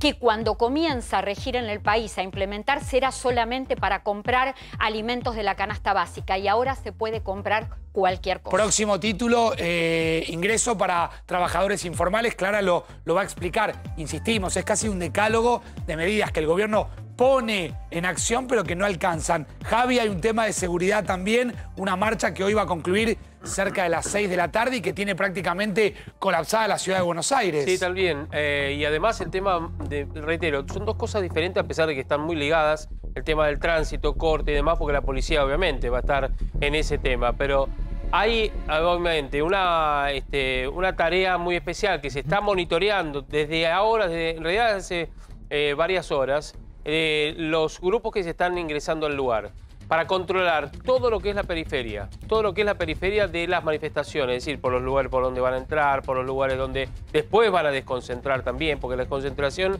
es muy importante y en especial para que obviamente no haya ningún tipo de inconveniente. El centro porteño va a estar muy complicado, de hecho hay muchas empresas, se sabe que, que dieron a sueto a muchos de sus trabajadores por esta cuestión, porque va a haber mucha complicación de esto. Controles en todos los sectores de la ciudad de Buenos Aires, abocado, la policía de la ciudad, fundamentalmente haciendo foco en el epicentro de que es el microcentro porteño dentro de algunas horas. Bien. Y hablando de dirigentes Sí. sociales, que son quizás hoy como las figuras, los protagonistas de las calles y del día de las noticias, Juan Grabois, quien siempre, la verdad es que desde que casi arrancó el Frente de Todos, ha sido crítico desde adentro del Frente de Todos, estuvo en el Senado y habló, Ramón. Sí, esto fue ayer, eh, tengamos en cuenta el contexto. Hoy el Senado va a debatir, buscan aprobarlo y que vaya a diputados este proyecto para encontrar, dice Parrilli, los dólares que se fugaron para generar un fondo especial para pagarle al Fondo Monetario Internacional. Sí. En ese contexto, ayer Grabois estuvo con los senadores y la verdad que fue, fiel a su, a su estilo, bastante duro. Y ahora te voy a dar un datito de Grabois sobre esto de ser eh, opositor y oficialismo. eh, Opoficialismo. of- exactamente. Opoficialismo, Opo- ya quedó para, para- se quedó acá el Dale. término. Mira, escuchemos a Grabois. Quienes no estén de acuerdo que la deuda la paguen los que fugaron, que den la cara y expliquen por qué. Porque hay que ser muy caradura y muy sinvergüenza con pretender que un campesino, una campesina de Santiago del Estero como Deo, que un cartonero como los trabajadores de la economía popular, que un vendedor ambulante, que un vecino de un barrio popular, que un inquilino, que un trabajador público o privado, pague la deuda cuando la deuda los dólares que entraron en la Argentina están en alguna cueva en el exterior. Sabemos quiénes lo fugaron. El Estado argentino sabe quiénes lo fugaron. ¿A qué- ¿Cuán viables son Sí. la- la- las propuestas Mira, hoy el Senado. eh, kirchnerismo ahí- y de Grabois? El kirchnerismo tiene, el, eh, si, si logra algún acuerdo, tiene la posibilidad de aprobarlo y llevarlo a diputados. El tema es que en diputados, ahí Juntos por el Cambio te va a trabar absolutamente todo. Eh, hoy la oposición está ya en un formato 2023 Sí. y no te van a aprobar absolutamente nada. Inclusive en ese almuerzo del PRO, Macri lo que dijo es, si los radicales quieren acompañar alguna medida, nosotros no. Se acabó, entonces Bueno. me parece que no van a tener margen. Qué, qué lindo. Futuro. A ver, eh, sí, lamentablemente hoy está así parada la cosa. pa- está- No hay- En el medio está la gente, Sí, pero bueno. bienvenidos a- a la Más allá, digamos, si este proyecto está bueno o no. que Lo verdad último, ¿no? Pero digo, Grabois es de las organizaciones que están dentro del gobierno. Dentro, digo, administrando recursos. Sí. Sobre todo lo que es barrios populares, la construcción. Ahí tiene mucho poder Grabois, por eso cuando habla tiene otro ruido. Bueno, gracias, Ramón. Bueno, Clara, había quedado pendiente efectivamente uno de los últimos puntos. Ya volvemos a la calle urgente con más información, que es ¿qué, qué hizo el gobierno con los trabajadores informales? Eh, ¿Dónde está potenciar trabajo? ¿Dónde están monotributistas sociales y de categorías A y B? ¿Dónde está empleo doméstico? ¿Por qué nosotros estamos explicando todos estos puntos? Porque todas estas ayudas son compatibles. Mm. Se pudieron haber cobrado superpuestas a la vez sin ningún inconveniente. Lo último, Esto es REFI, ¿no? El refuerzo de ingresos. el refuerzo de ingresos. Lo que el gobierno no quiso llamar IFE 4, ¿no? Como una cuestión más dialéctica, por ahí, porque Es de un alguna manera. 4. Es un IFE 4. Es un IFE 4. ¿Cuántas personas entraron? ¿Ya se sabe? El alcance va a ser casi el mismo. Por lo menos yo creo que por estas horas va, está con un alcance aproximado de 7 millones de personas. Es decir, que 7 millones de personas de distintos grupos van a cobrar a partir del 19 de mayo eh, el 50% 18 mil pesos. Sí. 9 mil pesos en el mes de mayo, 9 mil pesos, los otros 9 mil pesos en el mes de junio. Entre 19 de mayo y 2 de junio se cobra la primera cuota. 7 millones de personas. Todo, todo lo que venimos mencionando, licuado antes, en algunos casos, como el refuerzo de emergencia, de ponerlo en el Bueno, bolsillo. parate ahí, lo quiero sumar a Lucio y se va preparando un móvil más para seguir recorriendo la calle, para mostrarte en un día muy eh, particular la tercera jornada de la marcha federal piquetera. Ya voy a eh, con Fabián Rubino. Lucio, en una breve línea, ¿de dónde sale la plata para todo lo que Clara acaba de mostrar? Porque el gobierno dio 50% en la tarjeta alimentar, dio el REFI, que es un IFE 4, 18 mil pesos a 8 millones de personas. Siete ¿De dónde sale la plata, Lucio? Mira, la, la recaudación de AFIP está funcionando muy bien, está creciendo por encima de la inflación. Digo, hoy AFIP, en un mes malo, recauda 700 mil millones de pesos, para, para que tengas una idea.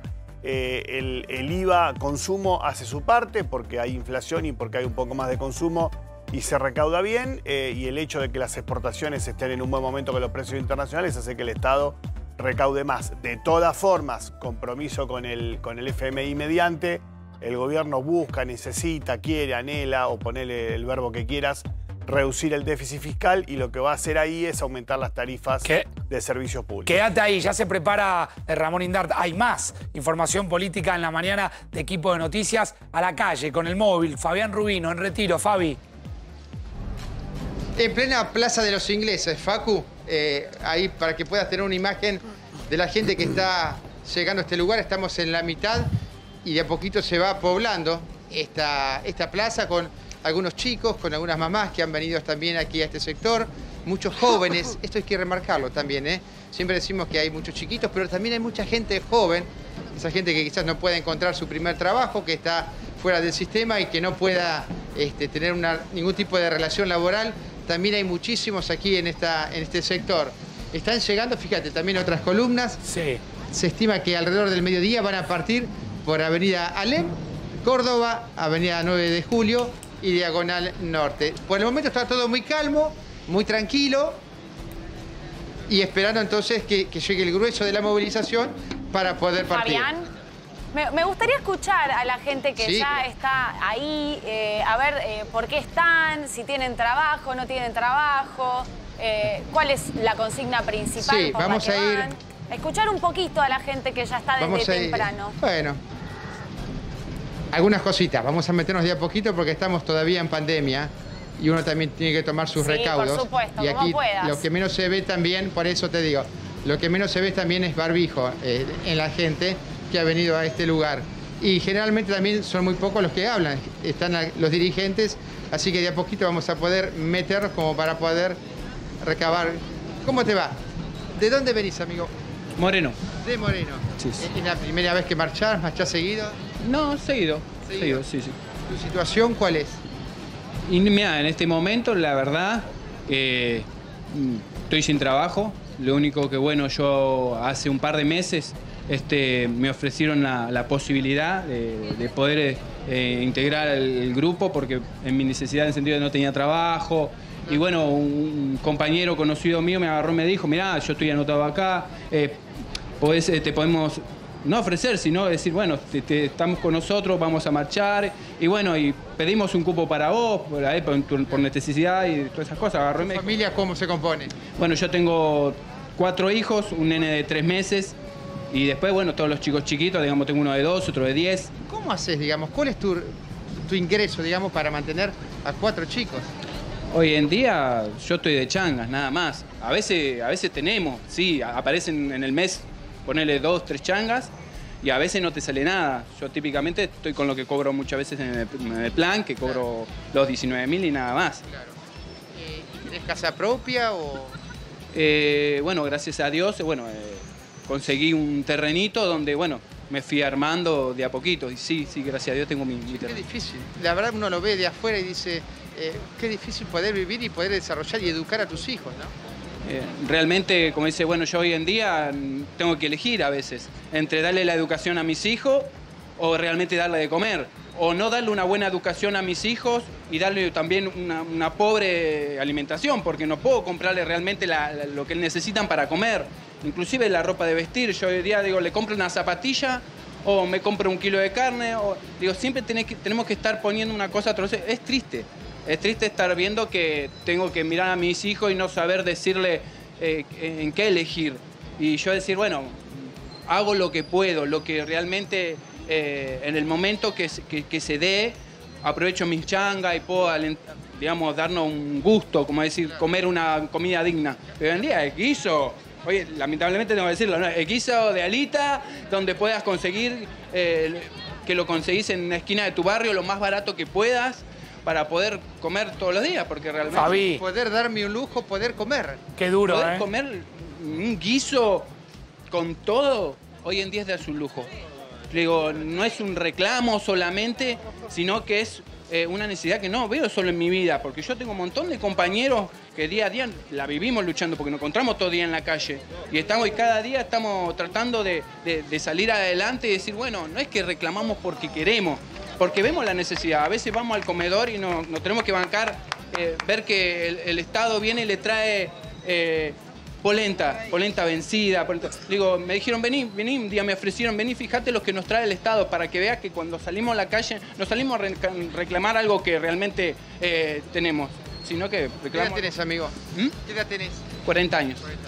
Mucha suerte y discúlpame la que te hayan... No, no, no, muchas gracias. Muchas gracias a usted. Fabián, qué duro, ¿eh? qué duro el la verdad, testimonio, Fabi. increíble, ¿no? Durísimo. Porque un, Durísimo. un muchacho con, con, con todas las ganas y en una edad para poder salir adelante, que te pueda contar de esta manera eh, eh, sin ningún inconveniente, que un lujo es comerse un guiso completo. No, y dijo, Eh, tengo que elegir duro. entre un pedazo de carne o unas zapatillas para mis hijos, o entre alimentar a la familia o que mis hijos estudien. Ese tipo de decisiones está barajando un montón de gente, digamos que cada vez más. Fabián, eh, si puedes seguir recorriendo y, poder seguir escuchando un poco la gente que está ahí y por qué están ahí, es muy valioso también para poder entender eh, de qué país estamos hablando y las fotos que hay adentro de cada país, incluso adentro de esta misma marcha, que seguramente hay gente que está por diversas cosas. Sí, claro, claro. Te digo que ustedes lo, lo escuchan y uno que está aquí eh, es un baldazo de agua fría, chicos. Eh, a veces uno, uno pregunta y dice, ¿qué estamos preguntando? ¿Qué estamos haciendo? Claro. Porque eh, hay una realidad que nosotros no vemos. Seguro. Y es muy cruel. Y que toca a los más chiquitos y que toca a los más grandes. Nosotros vamos a recorrer un poquito a ver, a ver con quién podemos hablar, porque a veces es muy difícil eh, encontrarse una mujer que por ahí ni te sabe decir para qué viene y la verdad es que esa no es la Muchos intención. jóvenes, ¿no, Eh, Está Fabián? bueno hablar con alguien. Es lo- ¿Vos sabés qué es lo que te decía, Cata? Eso es. Muchos jóvenes. A ver, vení, vení por acá, Dieguito. Mira, acá vamos a ver si tenemos suerte. Acá está este señor con este. Buen día. ¿Cómo te va? Te hago una preguntita. ¿De dónde venís? ¿De San Miguel? De San Miguel. ¿Con la gurrumina? Eh, no, eh, sí. ¿Cómo está compuesta tu familia? Eh, tres personas. Tres personas. ¿Tenés trabajo? No. ¿Y alguna ¿Cómo, ¿Cómo vivís, digamos? ¿Alguna Eh, changa? vivo en las changas. ¿Cuántos hijos tenés? Eh, uno solo. Eh, ¿Se hace difícil vivir, digamos? Y, Y sí, está re difícil vivir si todo sale re caro ahora, hoy en día. ¿Qué edad tenés? Eh, yo tengo 35. 35. ¿Tenés casa propia, alquilada? No, alquilo. Alquilás. Y decime una cosa, eh, ¿cómo puedes subsistir sin trabajo, digamos, de darle de comer a tu hija? Eh, no, el gobierno te ayuda mucho, pero te ayuda, pero mm, eh, muy poco. Y tenés que salir a trabajar todos los días, a buscar la comida todos los días. A ver, o sea, tenemos un plan, O sea, claro, con el plan, o sea, un trabajo fijo, decir un trabajo fijo no, pero sí un plan. Eh, ¿Cuánto es el plan? ¿19 mil pesos? Sí. ¿Y para qué te, te alcanza el plan, digamos? ¿Hasta, cuándo- hasta qué día llegas? Para pagar el alquiler nomás. el alquiler. Sí. Y después te la rebuscás con changas. Claro. ¿Qué sabes hacer, digamos, albanil? eh, Verdulería soy yo, se trabajo en la verdulería. ¿Y se llega a fin de mes? Y trabajando, sí. ¿Sí? Sí. Sí, sí, sí. ¿Y vos qué, digamos, en esta situación, tu, nene, tu nena estudia, va al jardín? Sí, va al jardín. Va al jardín, estudia. ¿Hay un mes en donde vos decís, bueno, esta, este mes no llego? Suele pasar, sí. ¿Y cómo lo arreglamos? Eh, mis compañeros me ayudan, me dan una mano. Si me falta algo, me, me lo hacen alcanzar. Acá es un compañerismo, son todos compañeros. Mal eh, te ayudan. Mal que mal. Mal que mal los compañeros más que todo te ayudan, porque después otra gente no. ¿Vos sentís que la gente te rechaza, te margina porque sos No, pobre? pero ¿por qué? ¿Por qué me, va- por qué me hace esa pregunta? ¿De ¿Por qué me van a rechazar? No, no, ¿Por qué pero me van no, a no, no, no me interpretes mal, no, ¿Por no. qué? No, ¿Por no, qué? no, A ver, no, ¿Qué me no. está queriendo decir con eso? No, no, no. Bueno, bueno. No, no te quise. Bueno, la verdad que... No, no entendí. No, no, creo no, que no, no entendió tu pregunta no, no. porque fuiste respetuoso a la No. hora de preguntar. Creo que hubo un error de, de comunicación nomás. Eh, está- eh, la verdad eso, es que son muy valiosos los trabajos. Y la verdad es que...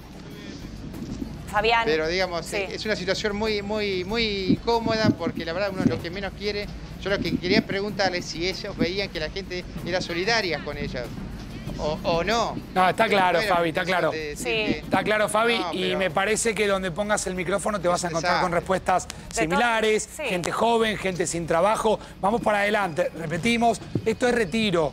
Lo que está mostrando Fabián sucede en retiro, lo mismo en Constitución, lo mismo en 11. efectivamente puntos de concentración de muchos de los manifestantes. Eh, ¿Está todo cortado el tránsito alrededor de Retiro o se puede transitar bien, Fabi? No, no, por el momento se puede transitar bien. Está, la gente está eh, en la plaza, pero por el momento no, no afecta el, el tránsito. Ya vuelvo, Fabi, ya vuelvo ahí. Ya seguimos recorriendo, obviamente, eh, más móviles en vivo. Ramón.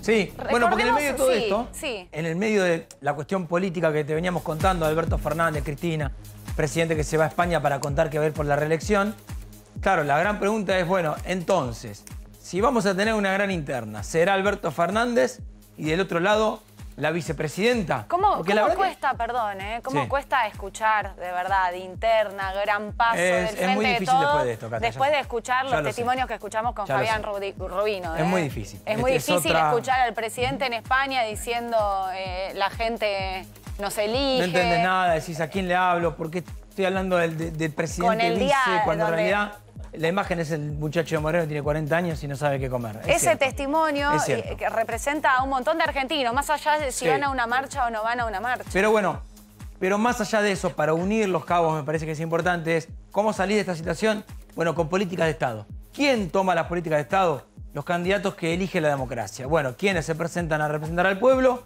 Tenés de un lado una interna que quizás sea la reta Macri, más allá de los radicales, digo, me quiero enfrascar en esto. Y del otro lado tenés un Alberto Fernández que dijo, yo voy a ser candidato. Es cierto, ayer solo el legislador porteño Ferreño dijo, yo voy a apoyarlo. Hoy salió Aníbal Fernández, ministro de Seguridad, y que conoce, la verdad, mucho a Cristina y a Alberto. Sí, sí, ¿Qué dijo el ministro de Seguridad? ¿Qué dijo? Se puso absolutamente al lado del presidente. Está, está ya eh, hace bastante, ¿no? Que se puso del lado del presidente, por lo menos públicamente. Eh, escuchando la entrevista que, que él daba al Destape, venía hablando al, al Aníbal Fernández, esto de, bueno, habrá, habrá un- una interna, eh, inclusive puso su caso, dijo, yo competí contra Julián Domínguez y gané la interna. Sí. Es cierto, después perdiste, ¿no? Perdiste con Mario Eugenia Vidal, entonces lo que le decían los periodistas era, Nico Lanto le decía, veremos que no pase lo mismo, como diciendo, van a la interna y después todo se derrumba. Bueno, el textual me parece Sí. que es el que más ruido va a hacer. Aníbal Fernández dijo, desafiando, si querés, a Cristina Fernández, ¿Qué dijo? que se presente y compita en la interna, que se compita en las elecciones. Que se presente y compita. Bueno, bueno, así Contra está al frente Alberto. de todos con esta Alberto. imagen, Facundo. Tercera jornada de marcha federal piquetera confluye eh, cerca de las 2, 3 de la tarde en la Plaza de Mayo. Ya les contó Lucio que a, 6, eh, perdón, a las 4 de la tarde la marcha va a recibir la información que el país va a recibir, que es el dato de la inflación. Ya vuelvo con Lucio con un título más eh, económico. Ya se prepara Javier para contar si efectivamente se va a poder cumplir aquello de no cortar el metrobús, aquello de no estacionar los micros en la 9 de julio. Más datos, Clarita, en la mañana de equipo de noticias. Dale. 7 millones de trabajadores informales van a entrar entre mayo y junio en este pago, el refuerzo de ingresos de 18 mil pesos. En estos trabajadores informales, el 40% está en la franja etaria de 18 a 29 años. ¿Por qué te lo cuento? Porque esta es la razón de por qué hay tanta gente joven en este momento en las calles. Y por estas horas es muy fuerte la posibilidad, Facundo, que haya un refuerzo de ingresos, un refuerzo de ingresos 2, que esto se repita. O sea, que pueda haber lo que sería un IFE 5. Por más que el Exactamente. gobierno. Un IFE Pero 5 ahí o un REFI 5. Pero ahí vuelvo a preguntarle a Lucio. Porque, digo, basta con hacer los números. Dijiste 8 millones, 7 millones. 7 millones. 7 millones por 18 mil. Ese es el número que hay que ver. Lucio, vos decías que la recaudación está eh, subiendo y que por Sí. ahí eso ayuda a poder obtener justamente el dinero. Pero, Sí, sí, sí. ¿hay margen para más? Sí, hay margen para más. A ver, por el lado de la recaudación no hay problema, este, no, no hay que exagerar ni crear problemas donde no los hay. La recaudación está funcionando muy, pero muy bien y Argentina tiene la plata suficiente para pagar un IFE más. El tema es la carrera esta que decíamos de, de precios e inflación. O sea, vos podés dar un IFE, dos IFE, tres IFE, todo lo que vos quieras, pero si vos vas a la verdulería y te sale la manzana 300 pesos, un dato, ayer la verdulera me dijo, ¿sabés qué es lo que más se vende acá? La bolsita para sopa. No se vende ni la fruta cara, Sí. ni, ni la pera, ni la manzana, ni... Lo que, más se ven- lo que más se vende es la bolsita para sopa, que tampoco es muy barata. Que No, sale que es un preparado para que la gente pueda hacer sopa de verdura. una, verdurita, una verdurita ya cortadas, sale 150 pesos. Pones eso, pones agua, dos calditos y tenés una sopa. Ahora digo, lo que demuestra también el, eh, cómo está gastando la gente la plata. No es que compra la manzana de 300 pesos o compra la, la pera que está como más económico, 180. No, compra la bolsita para sopa, porque por lo menos con eso tenés una comida o media comida. Eh, la verdad es que cuando, y, y- y no sé si empiezan a ver ustedes el caso de los restaurantes, pero los restaurantes hay días que están llenos y hay días que están Claro. semi Sí, sí, sí, semi vacíos. Sí. Quédate, Lucio. Se queda Clarita también preparando más títulos. Ramón sigue chequeando eh, información con Cata de lo que es, repetimos, un día muy particular. Pero hay una información de último momento que me hace ir al encuentro con Javier Díaz en la mañana de equipo de noticias. La inseguridad, Javi, en Herli, efectivamente, ¿qué fue lo que sucedió? Bueno, eh, la- la- los hechos de violencia, de inseguridad, por supuesto, continúa. Estamos hablando de Herley. Mirá cómo le cruzan el auto. Alguien que había, a- había estacionado hacía segundos nada más. Pero ¿qué tiene? Una reacción rápida y marcha atrás, escapa. Escapa del peligro de, de los delincuentes. Y miren lo que hacen los delincuentes. Porque se quedan un, un ratito más ahí, como si no supieran arrancar el auto. Da esa impresión incluso, porque queda la, la puerta del conductor Sí. entreabierta. Una vez más, miren, ahí van a ver justamente un vecino que sale al lugar después de haber escuchado la salida rápida del auto, un sonido fuerte de motor y bueno, le llamó la atención. Mira, estaciona, ya venía el automóvil detrás de ellos, ¿eh? Ven que estaciona, se posiciona delante del mismo, bajan dos ocupantes de la parte trasera y escapan. ¿Qué hacen los delincuentes? Al quedar adelante y no tener posibilidad, siguen de largo. Pero ven que queda un poquitito la puerta del conductor abierta. Yo creo que no pudieron encender el auto. En algún momento se les apagó o algo por el estilo. Mira, mira, mira. Y ahí una sí locura, se escapan. ¿no? ¿eh? Una locura. La Pero locura sí. por el peligro que significa, Javi, que esté delincuentes con, con- con los autos eh, así. Muchas veces decimos, no, no- no estuvo mucho tiempo. Mirá, vamos a contar los segundos, simplemente de, de- de frenar y nada más, ¿eh? Ahí está, mirá. Uno, dos, tres, cuatro, cinco, son 10 segundos ahora, porque hicimos un corte obviamente para acelerar. 10 segundos y ya estaban los delincuentes encima del auto. ¿Ven? A ver, es, es- eso Con es lo auto, que- Ja- Javi, que seguramente es robado. El otro auto blanco. Yo creo que yo El que llegue la- le cruza, ¿no? Por la forma, mira, choca No contra el usar. Es como que se la apagó y Sí. tenían que prender. Muchas veces pasa esto, viste que van cambiando el auto, lo que siempre le contamos, nos cansamos de contar esto, pero esto es una realidad. Y digo, en medio de la noche, y estamos hablando de las Ocho y veinte de la noche, Sí, Javi. ocho y media casi de la Ocho y media de la noche. No es, no es Digo, tan tarde a pesar de que es tarde. ¿no? Hasta hace algunos años, ocho y media de la noche, seguramente en Herli estaba la gente jugando en la Exacto. calle. Los Exactamente. pibes jugando en la calle y la gente Tal tomando cual. mate en la vereda. Tal cual, por eso te digo, 10 segundos nada más, ¿eh? desde que estacionó hasta que le llegaron los delincuentes y, y se le pusieron adelante 10 segundos. No estuvo mucho tiempo, como siempre recomendamos, no esté mucho tiempo, no prendan la luz, apaguen las luces y demás. No, 10 segundos. ¿Por qué? Porque a veces vienen y se, ¿sabes qué hacen a veces? Pues esta es una realidad. Van detrás de una, en horas de la noche, por ejemplo, en barrios que son como este, tranquilos, que no hay nadie en la calle por el temor a que los asalten y demás. Van, van detrás, van detrás y van viendo, a ver si para o no para. Si no para, se cansan, buscan otro y se van a otro lugar. Pero claramente el auto en el que llegan para cruzarle justamente hacia otro auto blanco, no el que está estacionado. Claramente es un auto robado porque no lo saben usar. Aparentemente. Si nosotros siempre damos recomendaciones, no, no es lo lógico, no deberíamos dar estas recomendaciones, pero las tenemos que dar por una cuestión de Sí, seguridad. No, no pararse en doble fila, En momentos de inseguridad está bueno escuchar algunas recomendaciones. Después cada uno hará o no hará. Lo que nos cuenta a nosotros nos han explicado alguna vez o uno lo ha estudiado y demás. Si vos ves en hora de la noche que te viene un auto detrás y es te da alguna duda, no pares. Pega una vuelta y fíjate si te sigue o no te sigue. Y busca un reparo en algún lugar si es que lo tenés. Es, un, es una más. Es como siempre digo yo. Es como poner una traba más detrás de la puerta de tu casa. A veces funciona, a veces no. Gracias, Javi. Bueno, vamos a hablar del bullying. Si están del otro lado y tienen hijos, sobrinos, hermanos eh, que están en edad escolar, sabrán de qué les estamos hablando cuando decimos es una problemática a atender de forma urgente Sí. con política de Estado, Fer. Un acoso físico y psicológico que suele darse en colegios de todo el país, te diría de todo el mundo, pero nos preocupa la Argentina, y que en este caso quedó reflejado por una grabación con un celular que hizo uno de los compañeros dentro del aula. Esto pasó en Río Segundo, Córdoba.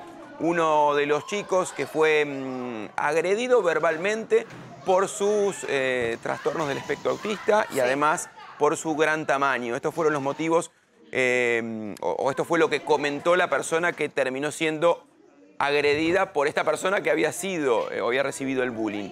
Esta imagen que se ve en el celular es la imagen de esta persona que había sufrido bullying, que estaba sufriendo bullying y que fue a buscar a su acosador. La docente trata de separarlos en algún momento, el acosado se separa, busca una gomera e impacta con la gomera en la cara del acosado que vuelve a buscar al acosador y lo vuelve a agredir de esta manera, con la docente tratando de eh, interceder Escuela en Río Sec- Secundaria. en Río... eh, Río Segundo Córdoba, en sec- en Córdoba. Es una escuela pública, privada. Secundaria, escuela Secundaria. secundaria de Río Segundo, Córdoba, donde se da el hecho. La imagen se hace o se viraliza a partir de esta grabación de celular, pero como decimos, es una situación, la de bullying, no sé si terminando de esta manera, pero la de bullying, la de acoso, que diariamente se da en diferentes colegios de todo el país. Sí, eh, sin distinción de clase social, de tipo de colegio, de región del país. Exacto. El bullying es una problemática a atender. Acá lo, lo que estamos viendo Sí. en imágenes es porque no hay una mediación de las autoridades estatales y familiares para resolver Sí. el bullying de una manera estructural que realmente puede llegar a arruinarle la vida a una Sí. persona. ¿eh? No nos olvidemos del colegio también. Bueno, vos mencionaste No, no, pero autoridades. digo, autoridades, educativas. Sí. Digo, ahí hay una docente, hay una escuela, El- hay un ministerio de Sí. educación, hay un Estado detrás. La docente trata de interceder, calculo que necesita apoyo más desde la institución. ¿Qué fue lo que dijo la institución? ¿Qué dijo? Que van a ser sancionadas las dos personas involucradas en el hecho y que se convocó a las familias de los involucrados. Acá tiene que haber un trabajo conjunto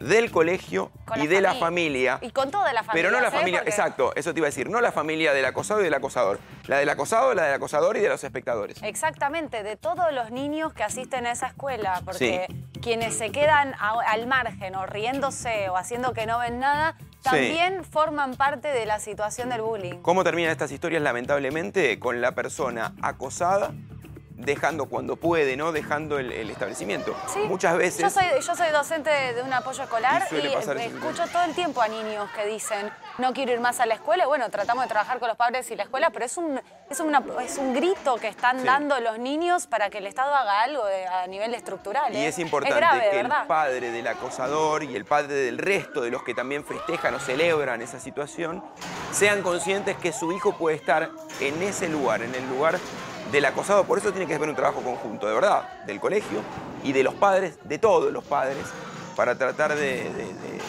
subsanar estas situaciones o de que no ocurran por lo menos estos, estos hechos. Imagen que se hace viral a partir de la grabación de un compañero, un acosado que agrede a su acosador en medio de una clase en Río Segundo Córdoba. Gracias, Fran. 11 y 23 de la mañana, momento deportivo en la mañana de equipo de noticias. Darío que trae información de tenis, de golf, de esquí, de yachting. ¿De, de qué te reís, Darío? No, no, de estudiante argentino. Ah, estudiante argentino. Estudiante Hasta ahí llegamos, ¿eh? Noche de sorpresas en la Copa de la Liga. Estudiantes quedó afuera. Estudiantes que había sido el mejor de su zona y empezó ganando, terminó perdiendo por penales frente a Argentinos Juniors. El gol de Mauro Boselli y Argentinos que se quedaba con uno menos. Y luego de quedarse con uno menos, iba a remontar el partido. El remate de Reniero, la tapada de Andújar y el palo que salvaba a estudiantes. De pronto queda solo Fausto Vera. Un centro muy llovido. Marcó mal estudiantes, empataba y tiempo de penales. En los penales, el que iba a terminar pasando a Argentinos Juniors, pegándole muy bien Torren, Boselli. Varios errados. Este Suki, el que malogra, desperdicia la chance Argentino Junior con Reniero. Y Morel, que había entrado para patear el último penal, lo atajó Lancilota, el hombre de los papelitos. Lancilota, vos fijate que tenía un papelito en eh, la rodilla, debajo de la media, emulando a Lehmann en el Mundial del 2006, cuando terminó ganando eh, Alemania a Argentina, eliminándolo. Y luego posó con el papelito. Eh, Lancilota, que no es un especialista en los penales, atajó el último a Morel. Y de esta manera Argentinos, con uno menos, se clasificó para las semifinales de la Copa de la Liga. Te Bueno, digo hasta algo. acá. Te digo algo. Ya está. Llegaba la gente a la cancha de River. Y la cancha de River, los hinchas decían que bueno, no jugamos con Zielinski, no jugamos con estudiantes. Pero claro, Tigre jugó muy bien, la verdad. Jugó un partidazo, Tigre. Con mucho acento de boca, además, Tigre, ¿no? Porque ahí veías al técnico, eh, Diego Martínez, que trabajó en las inferiores en Boca. Retegui, que hizo las inferiores en Boca y debutó en Boca, marcaba el primero. Mateo, el hijo del Chapa, toda la familia hincha de River. Eh, y Mateo debutó en la primera de Boca. River, que no estuvo lúcido, buena tapada de Marinelli, que hizo las inferiores en River, el gol que se pierde Poquetino. Ese es el símbolo, me parece, de la noche no era para River, ¿no? El gol que se erró Poquetino, el remate de Enzo. Enzo es jugador de selección, ¿eh? Se- El error de Pablo Díaz. ¿Qué? Y otro, otro ex Boca, Colidio, vendido al Inter en 8 millones de dólares, a préstamo en Tigre. Esto es penal, no es penal, ¿eh? No es penal. No es penal. No es penal y además en la jugada previa hay una falta a un jugador de Tigre, que no lo repitieron. Se tiró.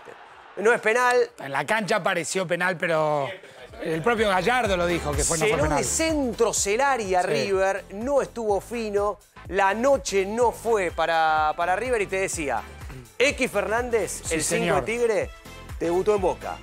Partidazo hizo eh, la dupla central, Prediger, X Fernández. No, Prediger un partidazo también, Partida- Prediger tiene 40 pirulos. Sí, Prediger está impecable, impecable. verdad que- Y los dos delanteros que además hicieron goles, insisto, debutaron en Boca. Y el técnico estuvo en las inferiores de Boca, con mucho Bueno, acento de Boca. agendita Tigre. para el fin de semana, Darío. Agenda del fin de semana, sábado, 5 de la tarde. Sí. Estará en la cancha nuestro productor, ¿no? Ya están en venta las entradas. Sí, que, que haga lo que tiene que hacer el productor, ¿no? 16.100 entradas para cada uno. Sí, poco. Y bueno, cancha de Lanús. Cancha de Lanús, los dos vienen bien, vienen en alza. Racing eh, es una maquinita realmente. Acá está el campeón, ¿no? No, ¿por qué? ¿De acá sale el campeón? ¿Por qué? Perdón. Perdón. Como vi jugar a Tigre ayer. Ojo. ¿Me y? Argentino dio vuelta al partido uno menos. ¿Me esperás un ¿Qué pasó? No, no, no, no, Un minuto, no, un minuto, un minuto, no, Un minuto. ¿Qué pasa, Chino? No, no. No, no, no. ¿Qué pasa, Chino? Está, Está. Está. Está el barra brava del chino. Sí, hay, hay barras acá Está el barra brava del chino que dice que sale locura. campeón Boca. Yo la verdad que creo que el candidato.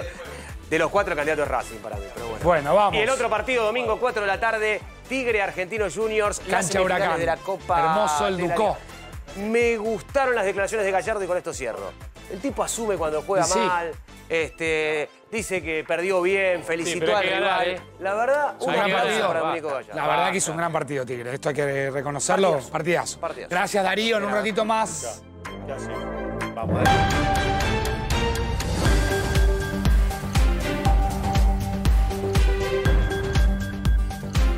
La información de último momento nos lleva de vuelta a las calles de la ciudad de Buenos Aires. Es la tercera marcha federal con A24 y equipo de noticias. Estamos en todos los puntos de la ciudad para contarte cómo sigue esto, que va a confluir en la Plaza de Mayo. Pero nos vamos directamente al móvil de Diego de Nicolás. Diego, ¿qué está pasando? ¿Dónde estás y qué ves ahora? Bueno, a ver, Catalina, viste que hace un ratito salimos al aire y mostramos que estaban armando el escenario allí con las pantallas gigantes y todo. Bueno, ahora lo están desarmando.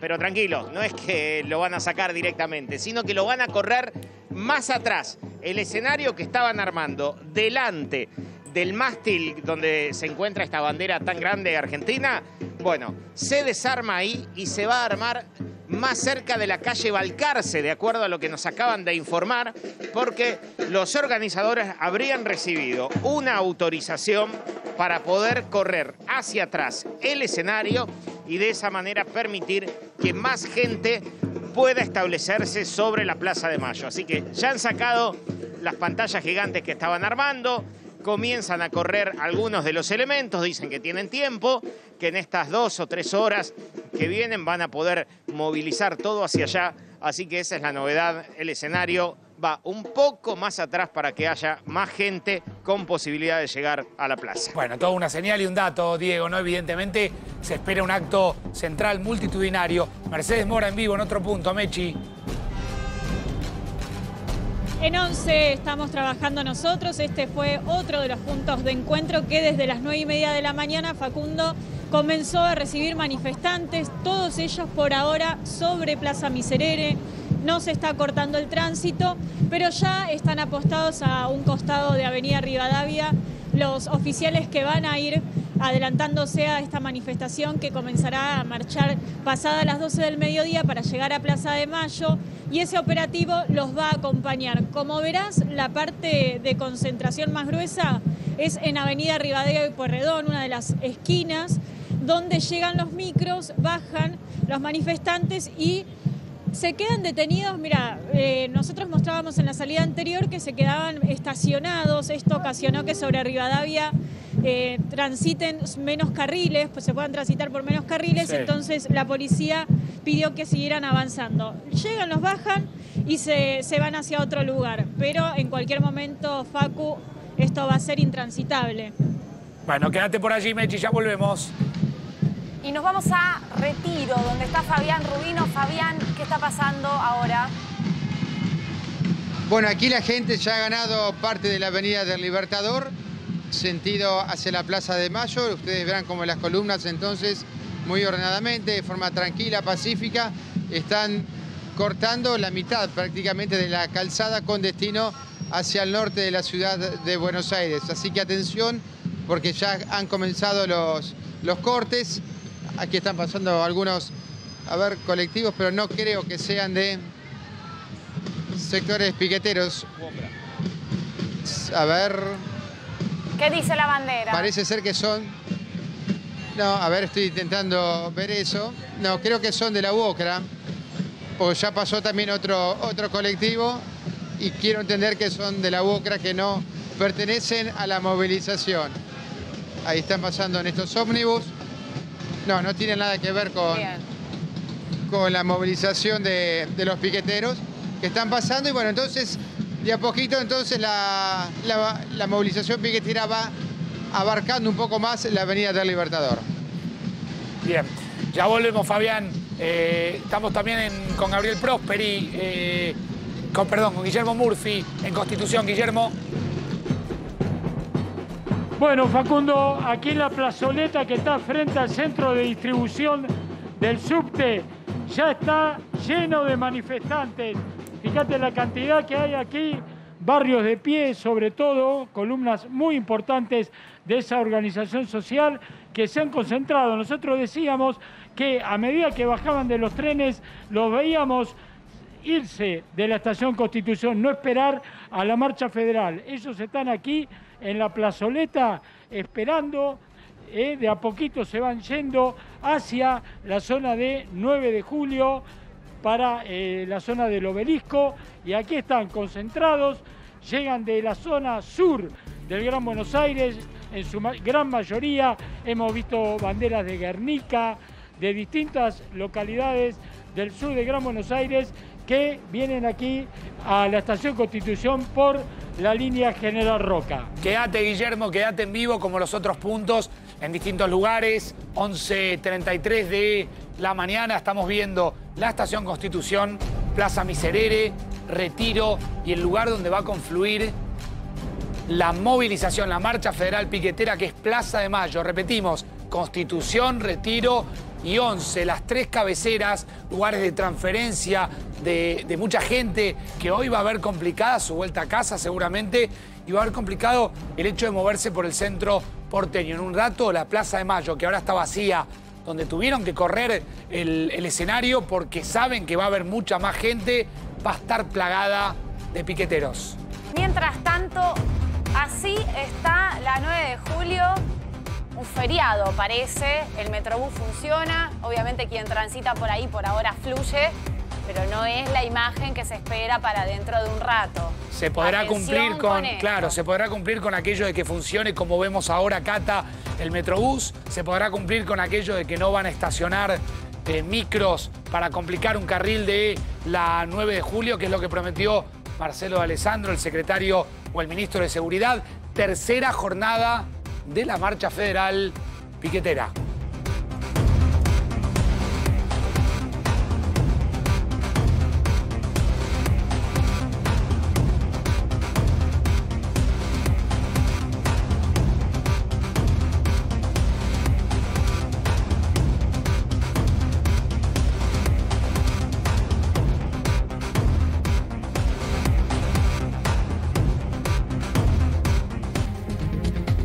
Este es el cuadro de situación a esta hora, tercera jornada de la marcha federal piquetera. Estamos en vivo en distintos lugares. Lo que ves justamente tiene que ver con lo que en un ratito va a confluir en la última imagen, la de la Plaza de Mayo, donde está Diego de Nicolás, donde recién Diego reportaba que ya le ordenaron a los organizadores correr el escenario para más atrás, el escenario más cerca de la casa de gobierno, porque aparentemente Cata va a entrar más gente, cobertura especial de A24. Estamos en todos los puntos, eh, también estamos en la 9 de julio, donde por ahora fluye el tránsito, funciona el Metrobús, es lo que prometieron las organizaciones sociales que organizaron esta tercera marcha federal con el gobierno de la ciudad. Vamos a ver si esto se cumple porque, como dice Facundo, como están mostrando en nuestros móviles, es una postal histórica la cantidad de gente que va a llegar a la Plaza de Mayo y que está confluyendo en los distintos puntos que les estamos mostrando de la ciudad de Buenos Aires. Bueno, ya empezamos a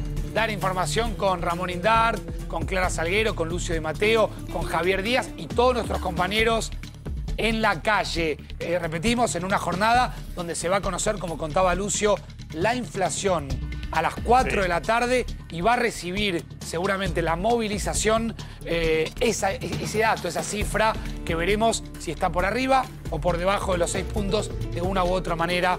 Va a ser una cifra que, eh, va a contribuir a que este gobierno supere la cifra de inflación de Mauricio Macri. Ramón, ¿cómo recibe hoy el gobierno eh, la cifra de inflación?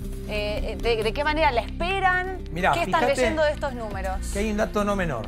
La última inflación, previo a que se dé a conocer, ¿qué hizo el ministro de Hacienda Martín Guzmán?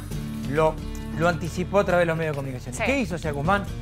Fue a los estudios de TN a plantear otra vez lo que se va a ver hoy. Diciendo, bueno, en marzo fue el peor mes, digamos, anticipando vamos a ver una leve, leve baja.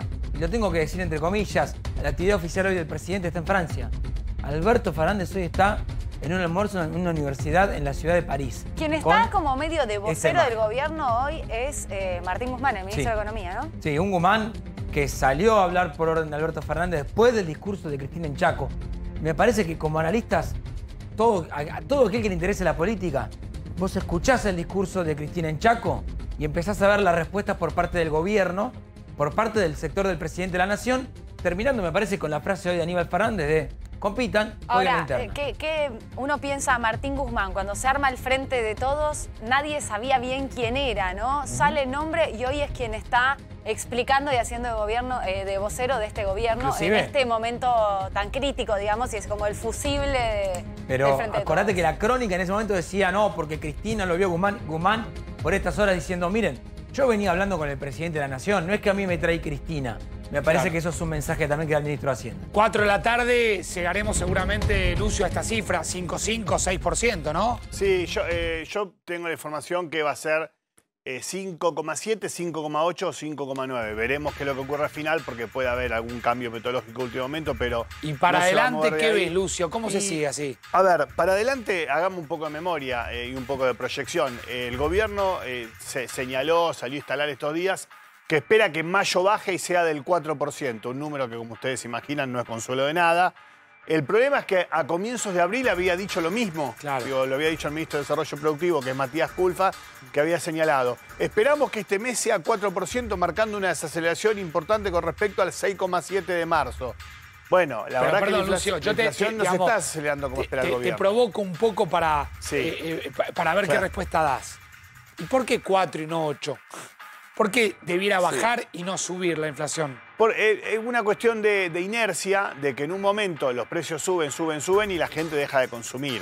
Claro. no, no, es por, por mérito, por alguna política exitosa, porque la certidumbre sea mayor, porque el futuro esté más claro, porque las internas en el gobierno no hayan bajado. no, no hay ningún factor. Ahora, de todas maneras, si vos querés empezar a ver factores duros de la economía, la emisión monetaria es menor, para alguna gente que cree que la emisión monetaria es todo. Supongamos que sí, la emisión monetaria es menor, el déficit fiscal está bajando, pero la verdad es que, te lo voy a decir en criollo, Facundo, la inflación baja porque la gente no tiene un mango. Claro, bien. Quédate ahí, Lucio, simple como 11.45 y esto se registra eh, clara en el reclamo permanente de las organizaciones sociales a las que vos contabas recién, y ya voy a la calle con Leo Godoy, un móvil eh, en vivo, que el gobierno avanza con medidas pero que no da abasto. No da abasto. Y cada reclamo que hacen, por ejemplo, estas organizaciones sociales que están marchando, esta marcha de los tres días, a ver, son cada vez más y que abarca a millones de personas. Dos datos importantes por estas horas.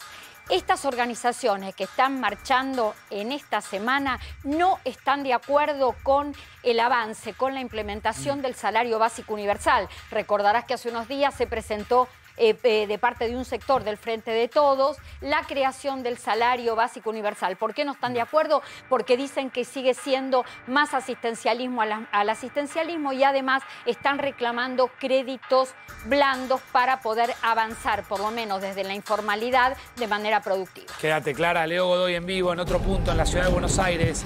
¿Dónde estás, Leo? Esto es Callao y Corrientes. Aquí se ha concentrado todo lo que tiene que ver con las organizaciones pertenecientes al polo obrero. Aquí vas a ver, Facu, bueno, en este momento por Corrientes el tránsito está complicado, pero va avanzando porque las organizaciones están sobre Callao. Allí de fondo vas a poder ver el, el obelisco, pero en este sentido el tránsito por ahora avanza, fluye. Ahora, hacia el otro lado, sobre Callao, vas a ver las distintas columnas del polo obrero que tienen que ver con el polo obrero tendencia, eh, con esta otra parte del polo obrero que ya se ha concentrado y vas a ver que en los distintos carteles por lo menos muestran aquí desde los lugares de donde han llegado. Aquí vas a ver de Tucumán, Santiago del Estero, Córdoba, Chaco, Misiones, Entre Ríos, bueno, todas las provincias de la Argentina donde se ha hecho esta marcha que ha confluido aquí en Buenos Aires y que el minuto nada más va a empezar a marchar hacia la Plaza de Mayo. Bueno, recordemos, Leo, y lo voy a sumar a Javier, que en algún momento se había dicho de no permitir que las eh, columnas se queden durante mucho tiempo en un lugar. ¿Lo hace? Eso es imposible, No, Javi, no, no se desde el punto de vista or- eh, organizativo. Ah. No, igual, a ver, eh, lo que le han pedido a los organizadores es que traten de perjudicar lo menos posible a la gente que está circulando en la ciudad. Los organizadores le dijeron, vamos a hacer lo posible, pero saben que Claro, es muy no- es fácil. Cuando tenemos que marchar, caminar, vamos a interrumpir, obviamente, el tránsito. A ver, el pedido de la ciudad siempre se hace. Ahora, queda, depende de la cantidad de gente, porque esta va a ser una manifestación totalmente diferente a la que hemos visto en los últimos años. Entonces es muy complicado de poder cumplir algo que es lógico que no se pueda cumplir. Ahora, eh, va también en la voluntad de muchos de los organizadores y de los manifestantes cuando los automóviles o la gente necesita cruzar. O a veces vos querés cruzar la calle caminando, no Sí, podés no podés, tampoco. no podés. No es solamente Bueno, pero ahí mirá, Leo, ya, ya los, los motociclistas se bajan de la moto directamente. Sí, sí, sí. Sí, algunos motociclistas que van hacia los locales que están aquí sobre Avenida Callaos, esto es Avenida Callaos al 500, se bajan, pero sí, lo que están ocupando en principio es todo lo que es Avenida Callao, pero no lo que es Avenida Corrientes. Aquí vas a ver Corrientes que va fluyendo, pasan las motos, pasan los taxis y también los colectivos. Pero obviamente eh, a medida que van avanzando las distintas columnas, se va embotellando, se va haciendo cada vez el tránsito más complicado. Pero de este otro lado sí por lo menos tenés unos 200 metros de columnas de que te contaba de esta organización del Polo Obrero Tendencia que eh, parte de la provincia de Buenos Aires, aquí vas a ver de Guernica, pero también de las distintas provincias han llegado hasta este lugar para el minuto marchar a Plaza de Mayo, que ahí sí creemos se va a complicar bastante más el Bueno. Quédate, Leo, por allí. Ya volvemos al centro porteño, Corrientes y Callao. Otra posición en vivo en la mañana de Equipo de Noticias. Ramón, recién te preguntaba cómo leía el gobierno el índice de inflación, que hoy va a ser alto, más allá, digamos, de, de la variación que, que pueda hacer, digamos, acá en esta placa. Ahora, ¿cómo leen esta marcha? ¿El presidente está afuera? ¿Está enterado de esta marcha? ¿Dijo Mirá, algo? ¿Hubo Por alguna ahora, declaración? lo que insisten, lo que mantienen es marcha contra el gobierno en general. Sí. Insisten con potencial de trabajo, esto que te contaba Clara. No va a haber cambios en este aspecto. Y el mensaje es el, estamos trabajando para revertir la situación, punto. Digamos, que pase lo más rápido que se pueda y sigamos para adelante. Pero la imagen va a ser tal cual como decía Facu. Va a ser la inflación por un lado, la imagen en Plaza de Mayo por el otro, casa de gobierno sin el presidente que está en Francia. Casa de gobierno lleno de gente sin el presidente y con un gobierno eh, debatiendo fuerte. Debatiendo fuerte y que está en una interna, está hablando del 2023. Sí, y algunos, como bien vos decís, Están hablando de las elecciones, eh, para decirlo en criollo, como dijo recién Lucio, viven en un termo. totalmente.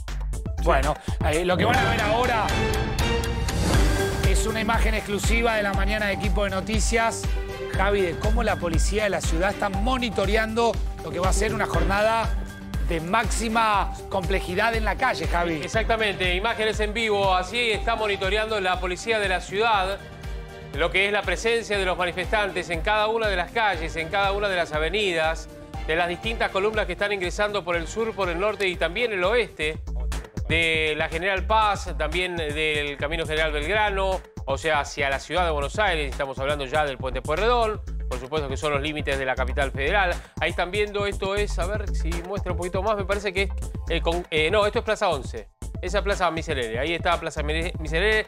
Esto está pasando ahora, así está ahora en este momento Plaza Miserere, con el tránsito que está fluyendo, obviamente de manera lenta porque hay mucha complicación y además por, también por la hora. Ahí está el personal policial que está abocado justamente a esto para resguardar la seguridad, ¿eh? la seguridad no solamente de los manifestantes, sino también de eh, aquellos que están transitando, que tienen que trabajar, que tienen que desplazarse por la capital federal. ¿eh? Lo- Los eh, automóviles, los colectivos están transitando en esta zona y ahí estamos viendo nuevamente parte de las imágenes, reitero, de lo que es Plaza Miserere. Veíamos antes también otro de los sectores de la, de la capital. A ver si tenemos otra, otra cámara, otro de los monitores que nos facilitan para poder ver Ahí está, mirá, ahí estamos viendo nuevamente el sector central. Esta es la sala de situación de la policía de la ciudad que, reitero, de esta manera está monitoreando, de manera exclusiva estamos viéndolo nosotros aquí en Equipo de Noticias, Sí. monitoreando Ahora- todo lo que sucede en la ciudad de Buenos Aires. La ciudad que busca, o la policía de la ciudad que busca, garantizar que por lo menos en distintos lugares fluya el tránsito y también estar atento a lo que pasa. Claro, es una movilización de 300.000 personas en, en- en pleno centro de la ciudad. Evitar, eh, evitar incidentes, por supuesto accidentes también, pero digo, evitar cualquier tipo de incidente, tener per- personal de prevención que lo tienen en las inmediaciones de cada uno de los epicentros de concentración de la jornada de hoy, como contábamos aquí en Equipo de Noticias, y después los desplazamientos, por supuesto, que no haya ningún tipo de altercado con, Sí. con la gente, con los automovilistas, tratar de preservar obviamente la tranquilidad y obviamente la... No descuidar lo que es la cuestión vinculada a la seguridad de la ciudad. Así está planteada la mañana con distintos lugares en vivo. La policía de la ciudad monitorea la marcha piquetera. Lo que estás viendo es Constitución, 11, Retiro, imágenes en vivo permanentemente de lo que es una jornada muy particular porque es el cierre de la marcha piquetera que se extendió por tres jornadas. En minutito volvemos a recorrer en vivo cada punto distinto en la mañana. Pero ahora nos vamos a ir a Rosario porque lo que está pasando también es una postal del país inédita. Hay más de 100 jueces federales que están reunidos en Rosario y están eh, los miembros de los integrantes de la Corte Suprema de Justicia. Es toda una imagen. Reunidos por el problema del narcotráfico. Horacio Rosati está hablando en estos momentos. Dijo que hay que tener una decisión política para enfrentar el narcotráfico, contable. un Estado más organizado. Pero lo escuchamos un ratito al presidente de la Corte Suprema. muy bien con la Procunar, la Procelac y la justicia. Destaco en ese sentido la capacitación que brinda la Escuela Judicial del Consejo de la Magistratura y que seguirá brindando con la impartición de cursos en materia de recupero de activos. Y antes de terminar quiero decir algo más. Es tramposo reducir este fenómeno a una lucha tribal entre clanes. Porque quien crea que la sociedad está al margen de este fenómeno y que solo debe esperar como una mera espectadora una batalla ajena donde unos se van a eliminar a los otros, lo que está haciendo es pavimentar el camino que lo va a convertir en una víctima del flagelo. Aquí no hay neutralidad posible. Todo aquel que tiene representatividad y responsabilidad debe saber que cuando se enfrenta a un problema de la magnitud del que hoy nos convoca, la indiferencia no es neutralidad, sino complicidad. Toda, toda una definición la que está dando el presidente de la Corte Suprema, Facu, porque entre otras cosas, cuando pide decisión política, y lo dice textual, pide que se acelere el nombramiento de los Claro.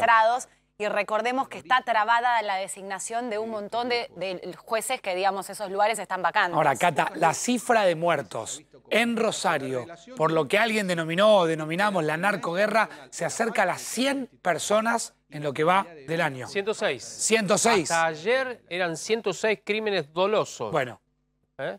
Por Así eso que- es verdaderamente histórico que la Corte Suprema de Justicia vaya al territorio que está viviendo esta realidad. Y ahí recién Rosati decía, terminemos de hablar de un problema entre clanes, que los monos de un lado, que... eh, acá hay un problema que excede lo- incluso eh, eh, lo, lo- lo delictual. Acá hay un problema que tiene que ver también con cuestiones institucionales que marcaba Cata recién.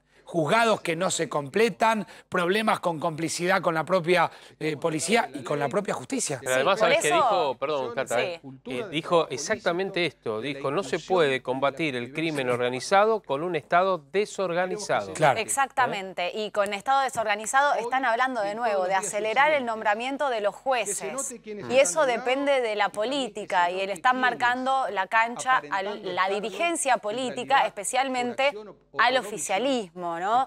Eh, son varias cosas y no es... eh, es una- toda una imagen que esté Rosati, el presidente de la Corte Suprema, acá en esta reunión con más de 100 jueces federales, que hay que decir que es de la provincia de Santa Fe. También está Ricardo Lorenzetti, que va a ser el que va a cerrar este acto, eh, que también es de esta misma provincia, Están los digamos. cuatro. Eh, Los Están cuatro los están los miembros de la cuatro, Corte pero dos miembros de la Corte son de esta sí. provincia y conocen Sí, sí, la sí. problemática de cerca. Bueno, atención que va a hablar por ser de la ¿eh? provincia y por ser jueces de la Corte Suprema. la Además, Corte cosa, Suprema está- dedicada un- al tema narcotráfico. Sí. Esto es en vivo y es inédito. Es un hecho, a ver, atención, porque uno de los organizadores es Ariel Lijo, ahí vamos a dejar hablar.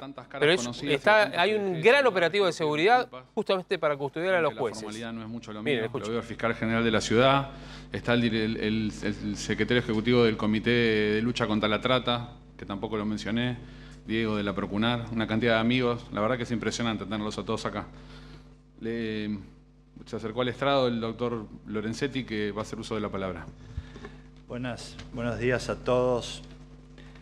Quiero continuar también con los agradecimientos. Creo que esta reunión tuvo un origen inicial que fue el origen local. Los hombres y mujeres de la justicia federal de la ciudad se preocuparon, luego se preocupó a Jufe, luego la justicia provincial. Todos juntos hicieron llegar su clamor. Y se llegó a este acto que es tan relevante, tan importante, donde, como decía mi colega, el doctor Rosati, estamos todos. Está el Poder Judicial unido, pero también está el Consejo de la Magistratura y está todos los sectores políticos relevantes, senadores, el gobernador, el intendente. La idea es, además de apoyar al Poder Judicial, es una idea de solidaridad, es una idea muy, muy importante en términos de valores, porque si nosotros nos ponemos a pensar, hay personas, hombres y mujeres que se han movilizado solo para estar aquí en solidaridad. Entonces, ese es un comportamiento valorable, de principios, de buena fe, de buena gente. Eso es lo primero que hay que resaltar. Realmente hoy estamos todos unidos. No hay grietas en el Poder Judicial ni divisiones absurdas. Pero también queremos explicar un poco algunas reflexiones y modelos de trabajo que hemos tenido en la experiencia de los últimos años desde la Comisión Nacional. No hay grietas en el Poder Judicial a la hora de trabajar, de eh, enfrentar la problemática del narcotráfico en la Argentina. Es la primera vez que estamos escuchando a los jueces de la Corte Suprema con más de 100 jueces federales de todo el país en Rosario hablando directamente del problema del narcotráfico, Javi. Sí, vos sabés que hay un dato, porque les decía, Ariel Hijo es uno de los organizadores, Ariel Hijo es juez federal, ¿no? Esto que está diciendo este, Lorenzetti, lo que ha dicho también Rosati, es, una, es apoyo a los jueces que están trabajando, que se sentían de alguna manera no digo desamparados ni solos, pero que no tenían un apoyo muy fuerte y firme. Es decir, como que estaban luchando contra un crimen organizado muy peligroso, muy duro para con ellos. Recuerden que nosotros acá contábamos en el equipo de noticias a principios de este año, a fines del año pasado, cuando hablábamos con fiscales que están en juicios contra los monos, contra otras organizaciones narco, que ellos viven con chaleco antibala, que los sábados, domingos que no trabajan o que están trabajando en sus casas, cuando salen a comprar una pizza, cuando salen a la farmacia, salen con el chaleco antibalas. Así están viviendo. Por eso la Corte, y no me, no me da vergüenza decirlo porque es una- un, es un símbolo, la Corte está en territorio narco en estos momentos. La Corte Suprema de Justicia de este país está en territorio narco. Me no quiero decir que operativo toda la- de todo el territorio es narco, pero... alrededor de esto, Bueno, Javi, es que ¿no? más de una vez hemos contado, Javi, lo has contado vos acá, que hay fiscales que se mueven con chaleco antibalas. Es lo que, claro, lo que, Sí. por eso es lo que decía a propósito de esto. Y el observatorio, miren, para que tenga una cifra a propósito de lo que decía Facundo recién y Cata. El Observatorio de Seguridad Pública de Santa Fe informó que eh, tomó estadística de enero a abril. Hoy ya hay 106, debe haber Sí. 108 en este momento, porque la última Sí. cifra es 106. De los 97 homicidios ocurridos solamente en la ciudad de Rosario, entre enero y abril, el 84,6% fueron concretados con arma de fuego.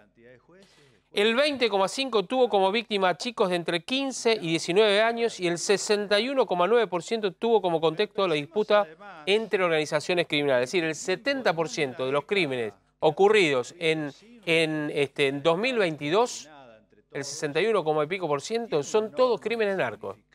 Todos. ¿eh? Para que se Es, tenga en eh, cuenta. son cifras muy fuertes y es muy fuerte esta imagen que estamos viendo en vivo, que es en Rosario, de nuevo. ¿eh? Está la Corte Suprema con más de 100 jueces federales trabajando el tema del narcotráfico. Las 12 del mediodía, a la calle nuevamente. Con lo que está sucediendo en distintos puntos. Vivo en la mañana de equipo de noticias. En A24, cobertura especial. Tercera jornada de la marcha, tercera y última jornada de la marcha federal piquetera que va a confluir en Plaza de Mayo. En un rato, seguramente 2, 3 de la tarde, ya se empiezan a ver eh, las columnas en distintos lugares de la ciudad de Buenos Aires. Vamos a ir rápidamente con Diego de Nicolás. Después de ver la imagen que estamos viendo en Retiro, en Constitución, en Plaza Miserere, allí en el barrio porteño de Once, los tres lugares centrales de transferencia, eh, sobre todo de pasajeros, hoy muy complicado seguramente transitar por allí, viajar por allí, volver a casa por allí, y Avenida Callao y Corrientes, simbólica esquina de la ciudad de Buenos Aires, todo para confluir donde está ahora, también en vivo Diego de Nicolás, Plaza de Mayo. Diego. Aquí en Plaza de Mayo, poco a poco, algunas columnas comienzan a ocupar sectores, eh, mientras decíamos temprano que el escenario estaba siendo corrido, ya de hecho corrieron una buena parte de la estructura, faltan todavía algunas partes en ser desarmadas y llevadas un poco más cerca de la calle Balcarce. Recordamos que hoy a la mañana temprano este escenario había sido empezado a armar eh, eh, mm, delante de lo que es el mástil principal de la Plaza de Mayo, pero luego recibieron una autorización para poder armarlo sobre la calle Balcarce, es decir, bastante más pegado a lo que es la reja de la Casa de Gobierno. En las adyacencias de Plaza de Mayo eh, todavía se puede circular, aunque de manera lenta y restringida. Los agentes de tránsito están como por tandas habilitando el paso de los vehículos, sobre todo de los de transporte público, para evitar que tengan que ya desde tan temprano cambiar el recorrido de sus unidades. Pero, insistimos, el tránsito está restringido en parte, pero se habilitan tandas como para poder circular en Plaza de Mayo. Esto no durará mucho y seguramente de un momento a otro ya será interrumpido de manera total. Bueno, quédate por allí, Diego, porque en un rato llegará más gente. Cerca de la 1 o 2 de la tarde ya tendremos mayor cantidad de gente. En una plaza, Diego, repetí que han tenido que correr el escenario porque va a entrar mucha mayor cantidad de lo esperado. Claro, han corrido el escenario desde la parte de la plaza propiamente dicho, delante de la bandera, hacia el sector de la calle Balcarce. Todavía están trabajando en ese aspecto. Y hay que decir que están colocando algunas columnas de audio también en la Plaza de Mayo, pero en la zona cercana al Cabildo, ahí por la calle Bolívar, porque se espera que las columnas no solamente tomen la Plaza de Mayo de manera completa, sino que también haya algunas columnas ubicadas sobre Diagonal Norte, sobre la Avenida de Mayo, sobre Diagonal Sur. Bien, ya volvemos, Diego. Y miren la 9 de julio en estos momentos. Hasta hace un ratito no veíamos a nadie, ahora se empieza a ver gente.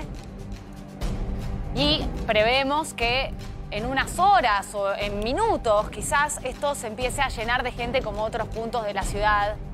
Todos van hacia la Plaza de Mayo. Por ahora, de nuevo, fluye el tránsito, también se ve gente, pero se espera que este panorama de la 9 de julio se vaya modificando con el pasar del tiempo.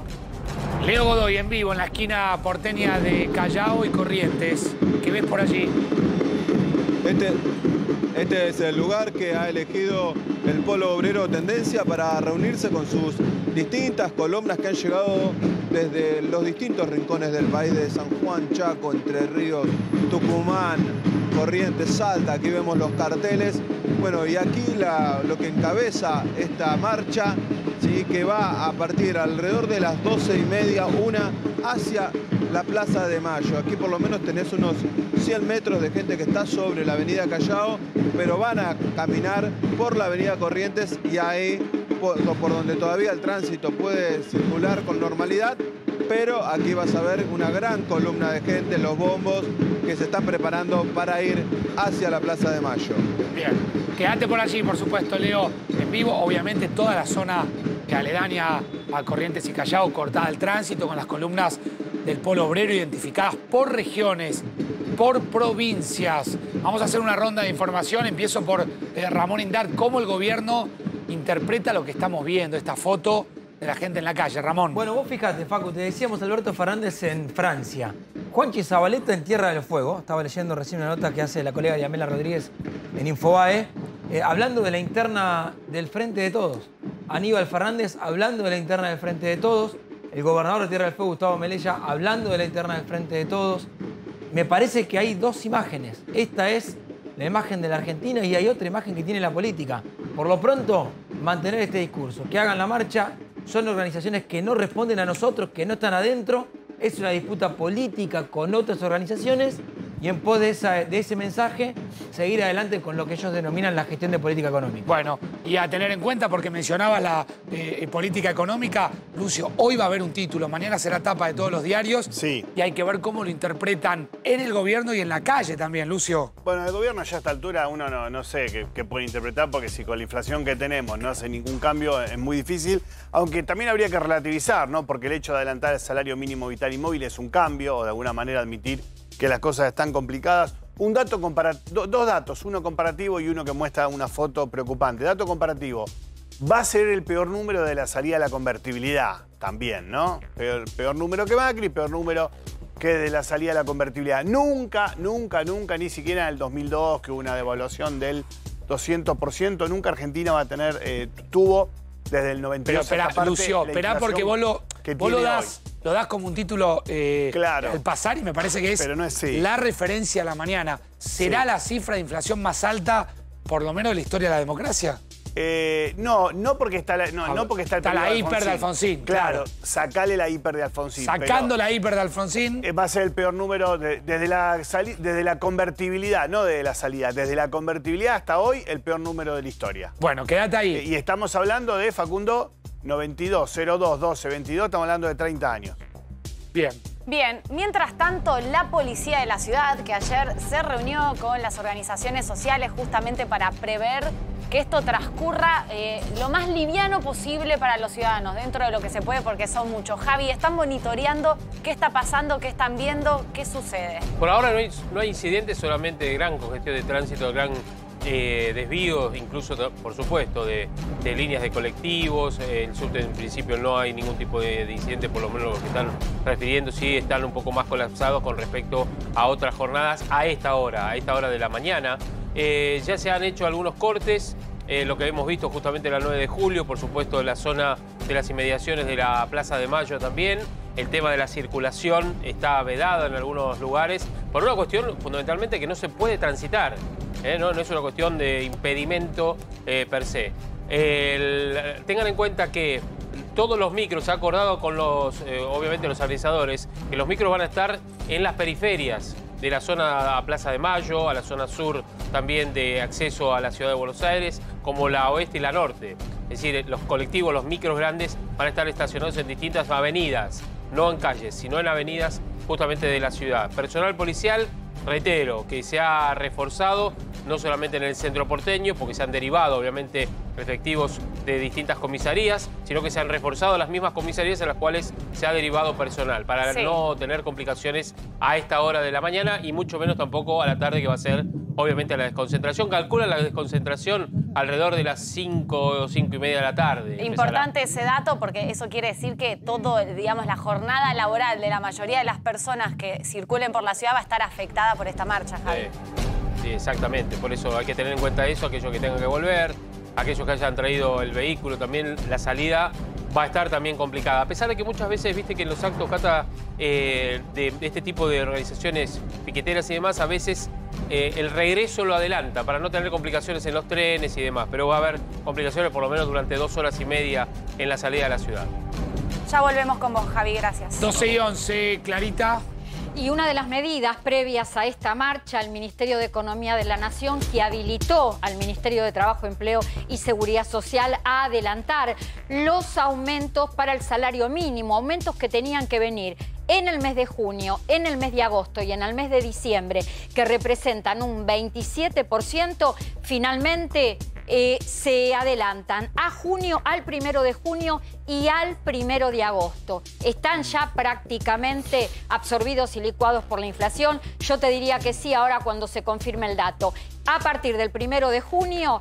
45.540 pesos el salario mínimo, a partir del primero de agosto 47.850 y estos números, Facundo, que te acabo de dar, impactan en forma directa en 6 millones de personas que cobran, que perciben en este momento distintas prestaciones previsionales y sociales. Bueno, un dato que no quiero dejar pasar tampoco, Clara, es que dijiste que el gobierno no descarta pensar en ampliar el, el refuerzo de ingreso. Quiere decir, en esos dos bonos de 9 más 9 que daban 18, que nosotros llamamos el IFE 4, el gobierno no descarta hacer un IFE 5. Claro, se puede hablar de un IFE 5, se puede hablar de un REFI 5. Sí, se está analizando ante una inflación que eh, no desacelera, que tiene números realmente que recaen, porque vos tenés la inflación, esto lo habla permanentemente Lucio, la inflación general, pero la más pesada, la más dura y la que genera más pobreza es la inflación alimentaria. Se está evaluando por estas horas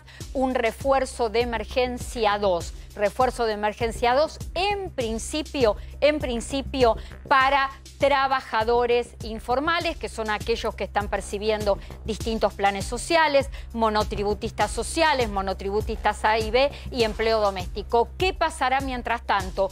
Con refuerzo para los jubilados y pensionados, todo depende de cómo siga evolucionando los índices de movilidad jubilatoria. Bueno, volvemos al cuádruplex a la calle a mostrar efectivamente qué es lo que está sucediendo en la ciudad de Buenos Aires. Tercera jornada de la marcha federal pi- piquetera. Tercera y última. Hoy confluye todo allí en la Plaza de Mayo, donde está Diego de Nicolás.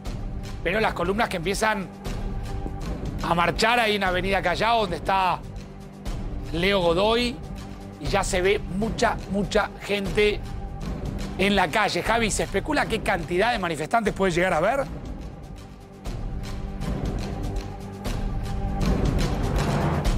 Por ahora, por lo que me están, me están diciendo las organizaciones, vos vas a tener cerca de 200.000 personas.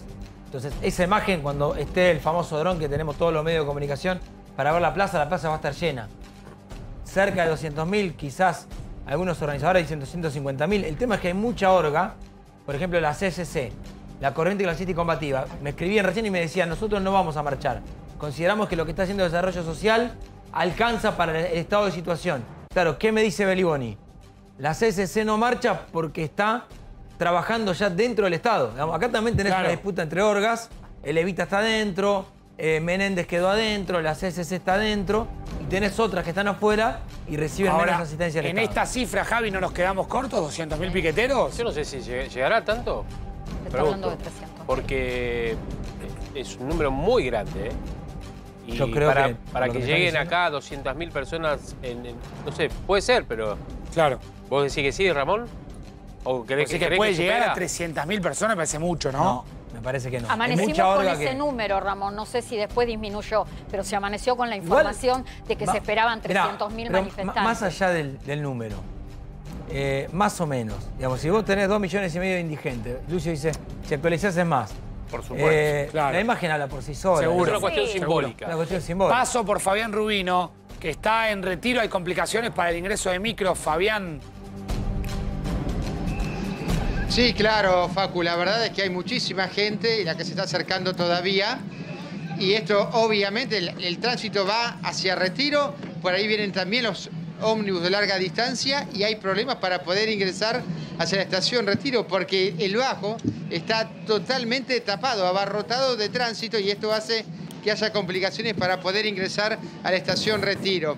A ver, eh, donde dice barrios de pie, ahí estaba la primera fila de un grupo muy, pero muy grande de piqueteros. Ahora bien, están llegando desde la calle San Martín, la que corta la avenida del Libertador. Ustedes fíjense la gran cantidad de banderas naranjas que están llegando, pero desde hace 10, 15 minutos.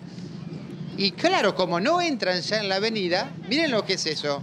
Desde hace 15 minutos aproximadamente que están llegando a la zona de Avenida del Libertador. Y como no, no, no, no pueden quedarse aquí porque sobrepasa la avenida, ya comenzaron a marchar. Ven que hacen una especie de, curvita. Acá han cortado también en ambos sentidos la Avenida del Libertador. Y hacia la zona de la Casa de, de Gobierno, digamos, por la Avenida Lem, ya han comenzado a marchar muy lentamente, porque si no, no entran todos en la Avenida del Libertador. ¿Ven?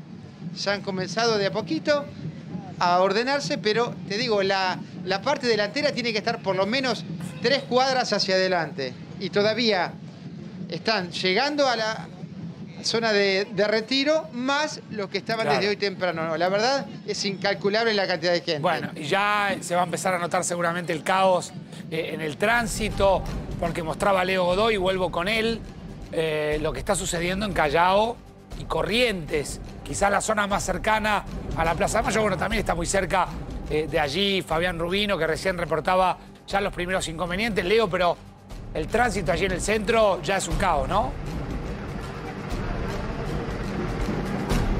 Bien, Facu, aquí, mira, eh, sobre Avenida Corrientes, todavía el tránsito si- sigue avanzando sobre eh, lo que es Avenida Corrientes en sentido hacia el obelisco, que es el sentido que tiene la avenida.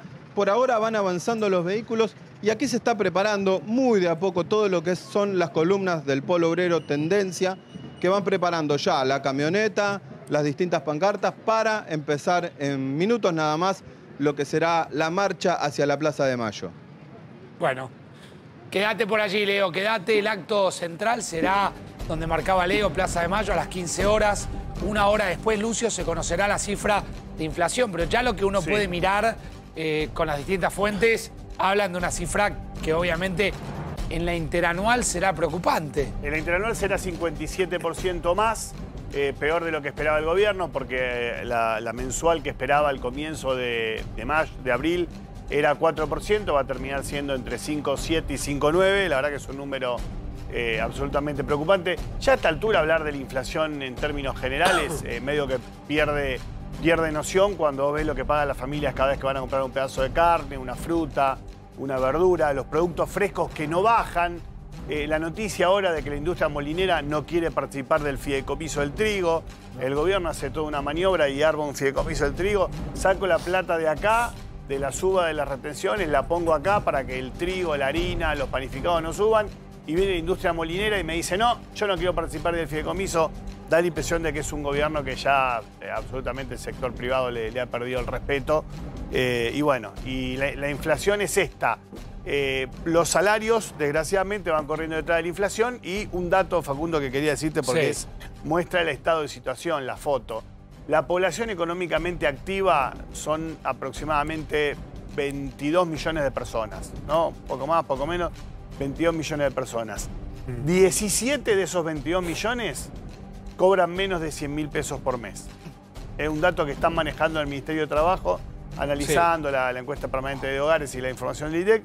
De, de- de 22 millones de trabajadores, 17 millones de trabajadores cobran menos de 100 mil pesos por mes y justamente la canasta básica de pobreza está en esa línea. 12 y 20 del mediodía. Mientras todo esto sucede, el presidente está en Europa, en Francia, lo contó Ramón, y en vivo está hablando Sergio Más ahora, escúchenlo. ir hasta su casa, tomar la leche. Hoy veo que mis hijos con mis viejos chatean, intercambian posteos en Instagram. Tienen otra forma de vincularse.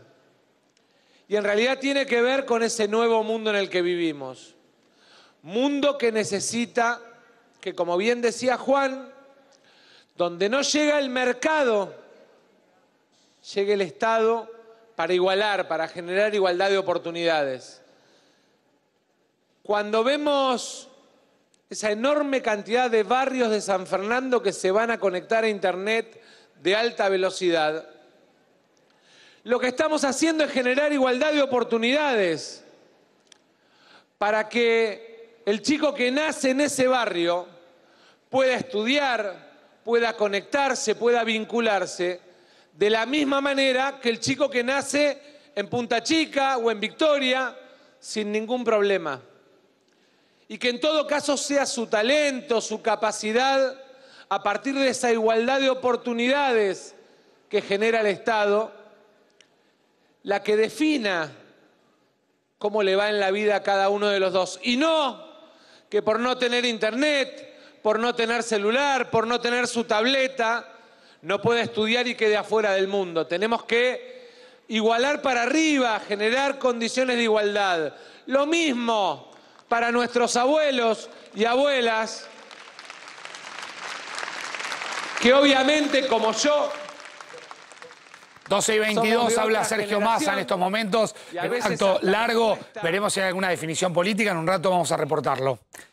Eh, Clarita Salguero, volvemos a la imagen de lo que está sucediendo en la calle con la tercera jornada de la marcha piquetera. Clara, ¿qué se espera para los próximos anuncios del gobierno? A ver, ¿qué es lo que puede esperar más que nada el potenciar trabajo? Que está en el centro de la escena, es el reclamo permanente cada vez que se producen movilizaciones sociales y quizá estar dentro del posible segundo refuerzo de ingresos. No nos olvidemos, Facundo, que estos 18 mil pesos que representa el primero, la primera ayuda con esta denominación, 18 mil pesos que se van a pagar en dos cuotas de 9 mil pesos, incluye a la gente de potenciar trabajo. ¿Qué es lo que pueden esperar? Pueden esperar que se defina este segundo refuerzo de ingresos y además que se defina un próximo aumento del salario mínimo, porque si bien decíamos hace unos momentos, en los aumentos del salario mínimo se adelantaron a junio, en agosto se vuelve a discutir cómo sigue el resto del año con respecto al aumento del salario que directamente impacta en este plan social. Bueno, eh, tatito político, Ramón, porque mientras todo esto sucede, el presidente continúa en Europa. El presidente continúa en Europa, la agenda pasa por Francia, va a volver el viernes a la República Argentina eh, y el nuevo mensaje por parte del mandatario fue, basta, no hablemos más de la interna. Hay que marcar que eh, fue el mensaje del propio presidente el que instó y que llegó a hablar de la interna. Hoy la política está hablando de la candidatura de Alberto Fernández, de un posible enfrentamiento con su vice. En 2023 habló Aníbal Fernández, habló el gobernador de Tierra del Fuego, recién habló el ministro de Desarrollo Social. Pasa por ahí, la interna la planteó el presidente, bueno, ahora quiere cerrar después de dar su mensaje. O sea, se fue afuera, planteó la interna. Sí, el además, En el exterior, Mirá. le fue a responder a la vicepresidenta y ahora dice basta de interna. un dato que yo rescataba. Estuvo hablando Ricardo Alfonsín, embajador en España, ¿no? Ese cargo que quería Alberto que ahora lo tiene Alfonsín. Sí. Y dijo, eh, habló en Crónica Anunciada, dijo, no lo vi a Alberto para nada metido en la interna. Pero si le, fue- le respondió en cada país a donde fue, le respondió a la vicepresidenta. Eh, pero la política a veces Qué es locura. el arte de decir lo que no pasa, pero bueno. El arte de decir lo que no pasa y de no Tremendo. ver lo que pasa, que más allá, digamos, de esta marcha, que, a ver, son organizaciones sociales organizadas pidiendo principalmente por el potenciar trabajo, discusión aparte, el tema de los planes sociales y la Argentina con los parches en vez de pensar en generar empleo, discusión aparte, pero la postal de hoy es la inflación, es el número de la inflación, Lucio. Exactamente, el número de inflación que va a ser otra vez la comparación, el peor desde la salida de la convertibilidad, peor que la era Macri, etcétera, etcétera. El punto, Cata, va a ser que alimentos va a dar muy por encima del promedio. Y eso es lo, preocupante. Yo no quiero hacer las cuentas mágicas de que por cada punto de inflación hay 28.430 o 15.320 pobres, porque ese número no existe, porque la verdad que vos tenés la inflación corriendo por un lado, los salarios por el otro. Pero hoy, con eh, los alimentos donde está, eh, y, co- y como vos sabés, y, es casi lógico decirlo, las familias más pudientes tienen trabajo estable, seguro, mayor poder adquisitivo, y las familias más humildes viven de changas, de- a los altos, como se dice, de tener a veces un trabajo, a veces otro y cobran menos. Hoy la inflación más fuerte en alimentos que el promedio general está pegando más eh, en los pobres. Lo que vas a tener a fin de año, bueno, estamos en mayo, ¿no? La verdad, pensar en fin de año suena como si yo te dijera eh, el siglo próximo, pero lo que vas a tener a, fin de año, Cata, y eso se va a ver muy claro, es los trabajadores que están eh, convencionados y que están gre- agremiados y que tienen paritaria, le van a empatar o por ahí le van a ganar por un poquito a la inflación y los que no, los que dependen de, los vaivenes del mercado, la van a pasar bastante mal. Recordemos que la mayoría de las paritarias se está cerrando en 60%. La expectativa del gobierno es que la inflación llegue ahí, que no pase, y ahí le estarían empatando la inflación. Pero el que no tiene paritaria eh, depende de cambiar de laburo o de ir y pedirle uno a uno un aumento al dueño de la empresa a la cual trabaja y generalmente le dicen. que Claro, ya volvemos con más datos, eh, Lucio, porque obviamente el título del día es la inflación. En vivo, Fabián Rubino con más imágenes de lo que está sucediendo, en este caso en Retiro. Fabi, estás al aire. Fíjate lo que es esto, se ha superpoblado la cantidad de piqueteros en esta zona de retiro, de manifestantes, de gente que ha venido a manifestar hacia la Plaza de Mayo. Pero me comentaban que vos sabés que todavía la columna del norte, del noroeste, no ha llegado, que esto es todo capital y conurbano. Y es increíble la cantidad de gente que, que uno puede decir, si vos me preguntás cuánta gente hay, no te lo podría decir, porque es incalculable. Mira, acá tenemos un dirigente del Polo Obrero, Jeremías. Eh, ¿Ustedes tienen estimación de cuánta gente hay, de cuán- a qué hora van a salir? Y estamos esperando que lleguen la- las delegaciones de- del interior. Acá a la cita de retiro llegan de la provincia de Formosa, de Chaco, de Corrientes y de Entre Ríos. Todavía no llegaron. ¿Esta gente de dónde es? ¿De capital? Son de las villas de la capital, de los barrios de capital. Este, al mismo tiempo, bueno, hay citas también en el Puente Porredón, en Constitución y en Once. Sí, que diga una cosa, ¿esto es gente de capital solamente? sí, sí, son, son de miles de compañeros que vienen de las villas, de los barrios de la ¿Qué capital. estimas que hay acá sin la caravana del norte todavía?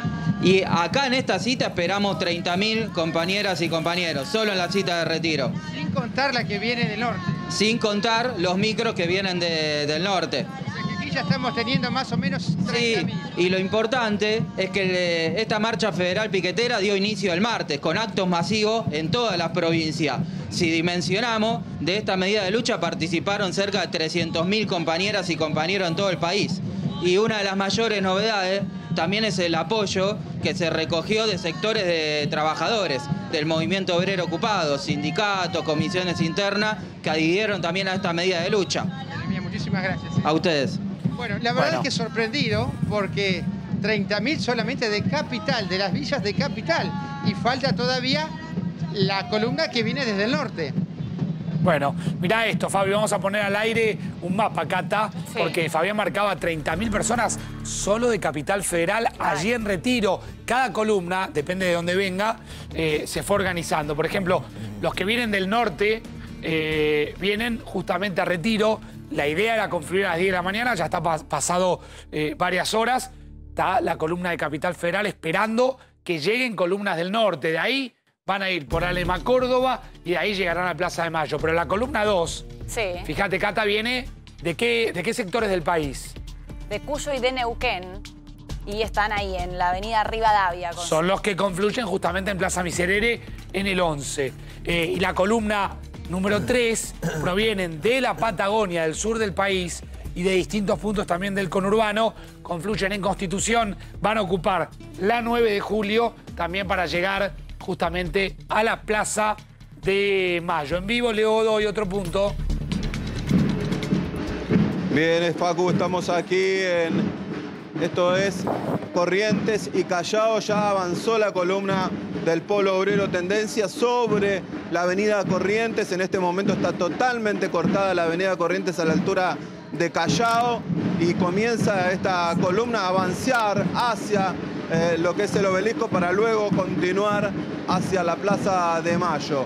Muy de a poco se van agrupando sobre aquí la avenida Corrientes, dejan ya lo que es Callao y allí detrás de esta columna sobre eh, Avenida Corrientes ha quedado una gran columna de, autos que han quedado varados en esa cuadra, ¿sí? Eh, pero bueno, a, la espera ahora van a tener que quedarse allí hasta que estas columnas avancen y quede despejada la Avenida Corrientes. Bien, quédate Leo, quédate porque seguramente allí se va a concentrar gran cantidad eh, de gente.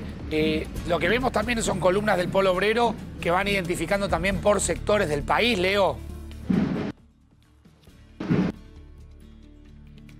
Bueno, ahí lo perdimos. Eh, a Leo, Clarita, vos decís que... ¿Del país? Sí, ahí Leo te escuchamos. ¿Ahí me escuchás? Sí, ahí te Nos escuchamos bien. contábamos que han llegado columnas desde muy temprano aquí a, a la avenida Corrientes y Callao, que es el lugar que ha elegido el Polo Obrero de Tendencia para eh, unir las distintas columnas que llegaron de, de los distintos puntos del país.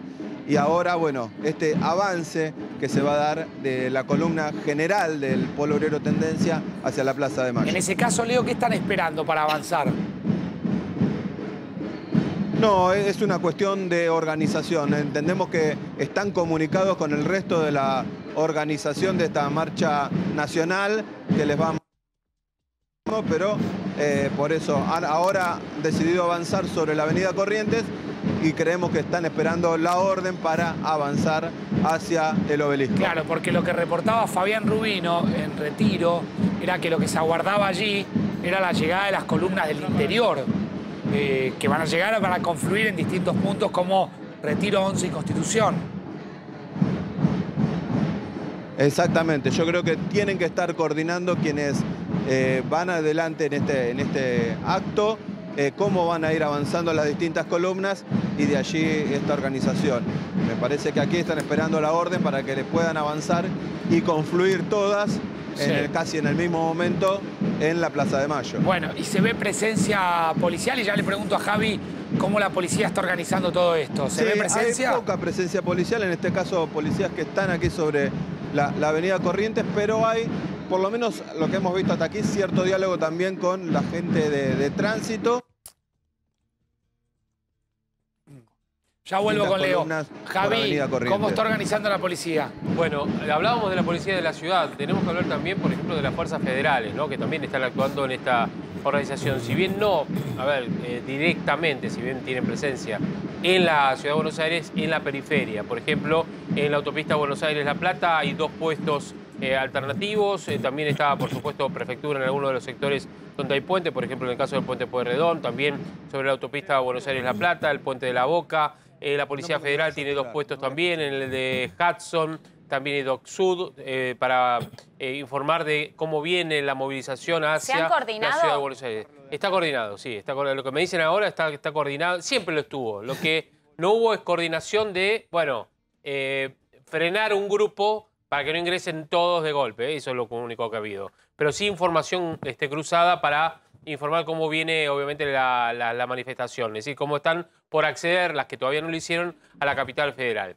Eh, también atención con esto, porque obviamente esto siempre ocurre que hay una manifestación de estas características. La, custodia, la consigna policial, en este caso tenemos que hablar de la federal, de los edificios públicos, ¿sí? Y también, por ejemplo, de la Catedral Metropolitana. ¿eh? Por ejemplo, el Cabildo, Catedral Metropolitana, eh, así como otras dependencias, el tema de la FIP y demás también, que tiene consigna de, de las fuerzas federales. Eso, y ni hablar, por supuesto, de la Casa de Gobierno.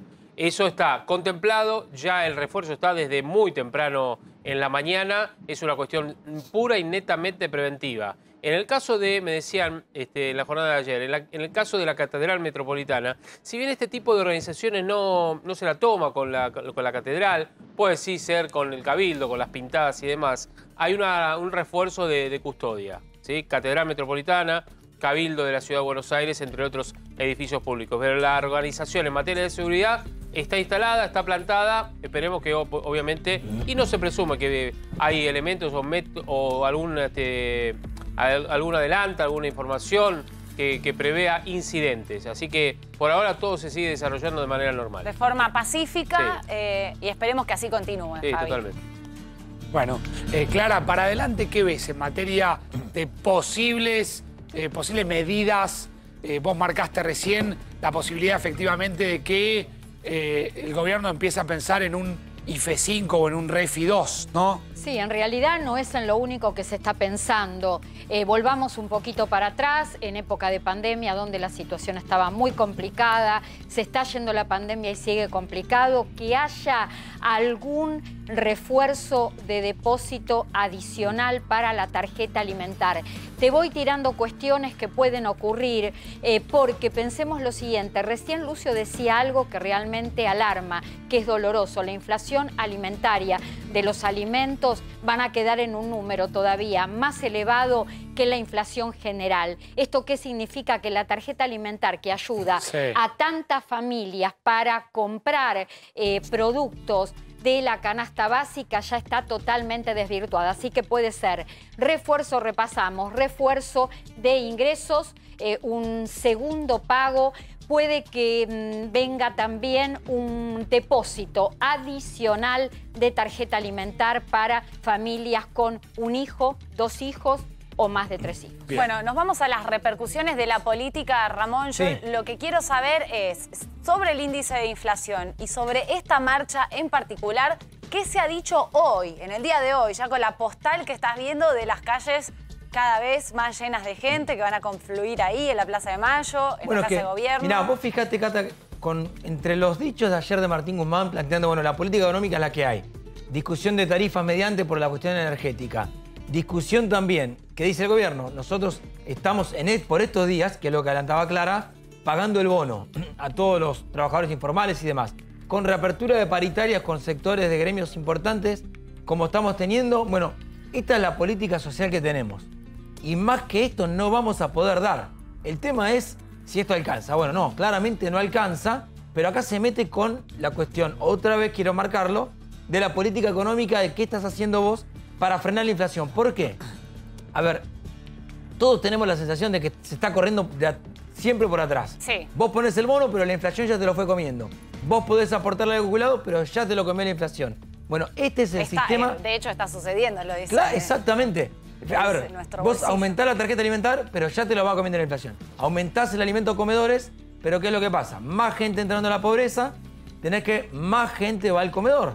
Claro. Entonces Claro. es un círculo vicioso que no termina más. Sí, y eh, el tema es que encima, digamos, no, no, no lo vamos a reducir solamente a internas la gestión de este gobierno, pero el clima de a veces No, no ayuda. el termo en el que están, por más que estén discutiendo justamente lo que hoy vemos, ¿no? De qué manera se aborda que se deje de caer la gente del sistema, eh, no ayuda mucho. No, no ayuda. mucho, porque la gente se siente muy afuera, muy lejos de El los tema es que hasta tanto vos no ordenes esa interna, no tenés un mensaje unificado de hacia dónde Pero ir, ¿hasta cuándo? con quién, con Sí. quién negociar, con quién. A ver. ¿Cuánto porque- más puede aguantar una interna así con esta calle que estás viendo, con este índice de inflación, Yo con estos que números poco, de pobreza pero- que son inmorales? ¿Cuánto más puede aguantar una interna así? Que no vemos hasta ahora que se venga a solucionar, ¿no? Pero ¿hace cuánto tiempo venimos planteando que, bueno, en algún momento van a ser responsables y lo van a ordenar? ¿Hace cuánto ya? ¿90 días? Sí. y No, no lo van a ordenar. No, Digamos. a ver, casi desde que surgió el Frente de Todos empezaron las diferencias eh, por el rumbo económico, las internas de un lado del otro, el debate, como quiera decirlo, de la vicepresidenta y el presidente, pero el tema es que pregunto cuánto más porque la gente está cada vez más afuera. O sea, El esta, tema es que esta ven. imagen que estamos viendo hoy probablemente no sea la Bueno, única. pero Cata, en España Alberto Fernández dijo yo no estoy, yo no defraudé a los votantes. No lo quiero poner en la, en la- en la persona del, del- del- so- solamente del presidente, de un gobierno en general.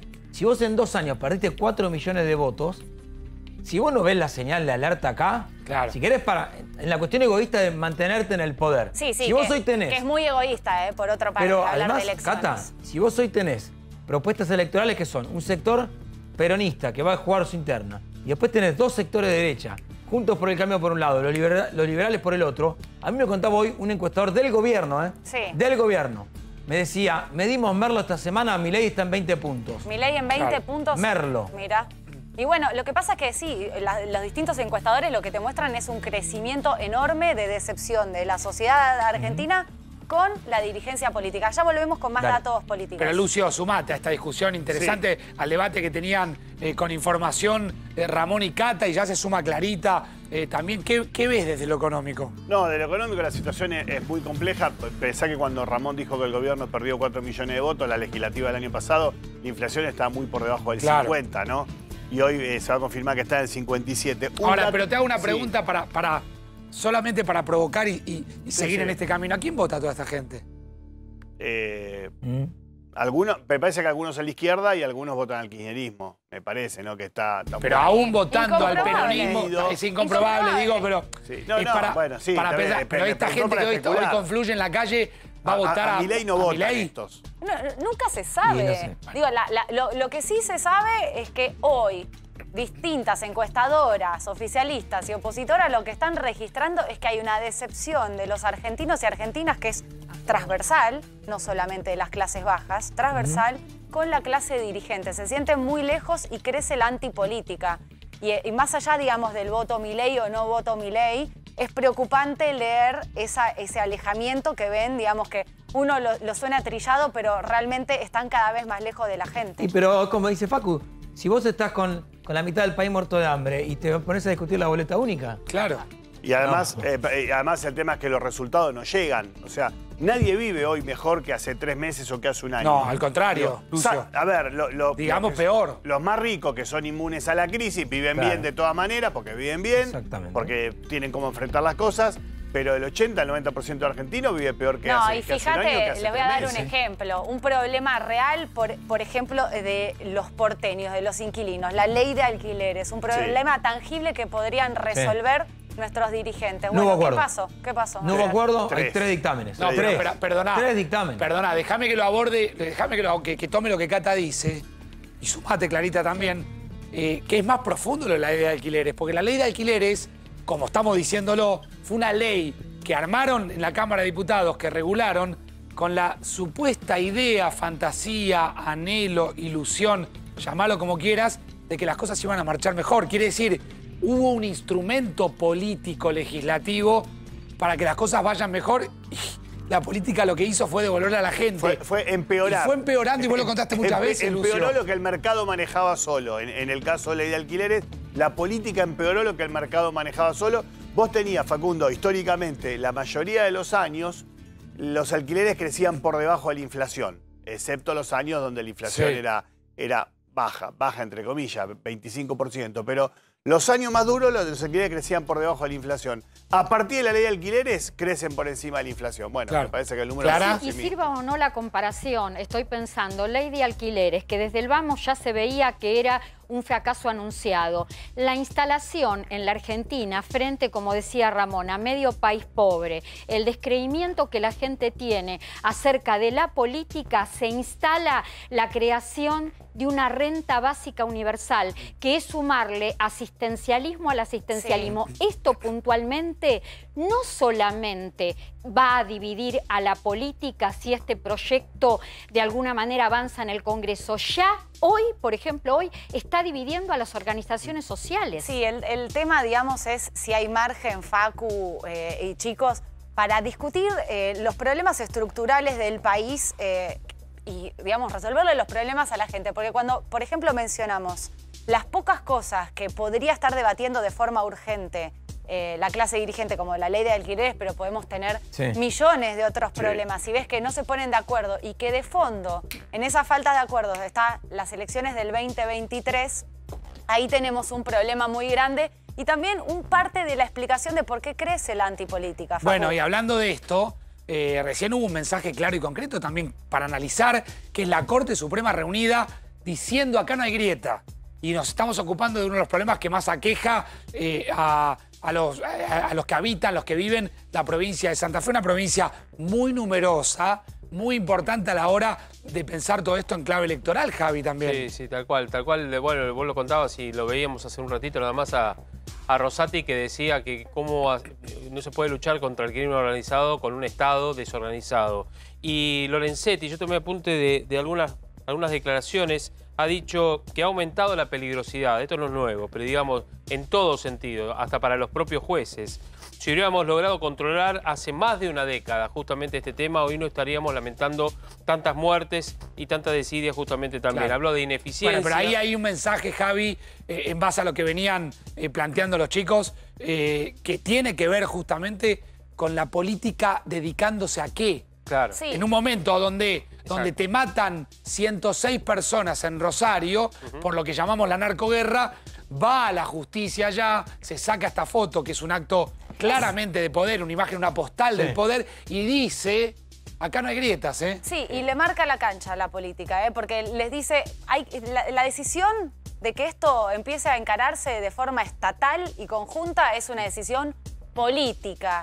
Y justo pasa en un contexto de nuevo, donde hay un montón de juzgados que están vacantes, donde se tienen que acelerar los nombramientos de los jueces y no suceden. Mientras Ramón. todo esto sucede, el presidente, eh, Ramón, contamos temprano, eh, en Europa, eh, muy Sí. lejos, simbólicamente muy lejos. Simbólicamente muy lejos, me parece. Yo cuando que arrancó esta, es- esta, esta marcha, simbolismo esta, tal cual. esta gira te preguntaba, te lo Mirá. pregunté acá y en la radio, ¿para qué esta, ma- este- esta gira? Yo te ¿Era quiero leer la necesaria? gacetilla oficial para entender el simbolismo de la imagen, ¿no? El presidente participó este mediodía de un almuerzo en la Universidad de la Sorbona, Alberto Fernández, en la ciudad de París, donde recibió una medalla conmemorativa, mantuvo una reunión con el Consejo Académico y recorrió las instalaciones del edificio histórico. Sí. Esa es la imagen hoy del presidente en Europa, aleja- intentando alejarse Pero quizás vos entendés de que este esto clima. va a tener un costo político alto, porque mientras los jueces federales se reúnen con la corte, que se, se agarra un auto o un avión y se van 300 kilómetros, porque hay un tema grave de violencia institucional, de violencia eh, eh, en las calles justamente, la corte le está diciendo a la política, nosotros estamos mucho medio, más cerca De que ustedes maneras, de los problemas quiero- que la gente tiene. quiero remarcar algo, eh, Sí. digamos, más allá de esta foto, que es muy importante, cuando, por ejemplo, la Universidad de San Andrés mide la imagen no solamente del gobierno, del Poder Ejecutivo, sino también del Poder Legislativo y del Poder Judicial, que es esa foto, Claro. miden mal todos. Bueno, Claro. Sí, lamentablemente. Bueno, sí. es que Digo, también en tiempos de, de, digamos, de crisis eh, en relación o en tanto la confianza dirigencial y ya entendiendo la dirigencia no solamente como, como eh, eh, Macri o Cristina, eh, por supuesto que ahí seguramente eh, alcanza a otros sectores, incluso, incluso a sectores del periodismo, donde la gente empieza a no diferenciarlos del poder. Ya venimos.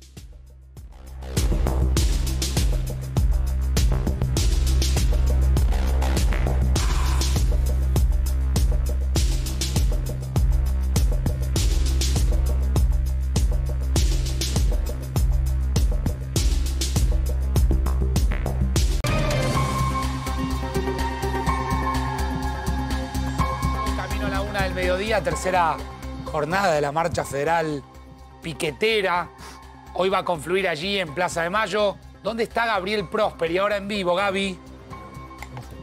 Primero van a llegar aquí, al puente Porredón, donde estamos ahora, Facu. Como verás, ya está di- dispuesto el operativo. Las columnas comienzan a movilizarse en estos momentos desde las cercanías de la estación Costequi Santillán para luego hacer la curva justamente desde Hipólito Yrigoyen y llegar aquí al puente Porredón, donde estamos en estos momentos. Allí ven móviles de la policía de la ciudad, también hay motos del otro lado de la Policía Federal, justamente interviniendo para que el tránsito no baje hacia Hipólito Yrigoyen y por supuesto que no venga desde allí. La idea de las autoridades es dejar un corredor para que haya al menos un carril o dos para los automóviles que vienen desde la avenida Mitre y puedan también ir hasta la ciudad de Buenos Aires mientras la marcha se está dando al mismo tiempo. Veremos si eso se consigue. Las columnas son muy importantes, las que están apostadas al pie ya del puente Porredón. En instantes las vamos a tener en vivo surcando justamente este puente sobre el riachuelo para ingresar a la ciudad de Buenos Aires y luego de un par de horas ya estar en la Plaza de Mayo, Facu.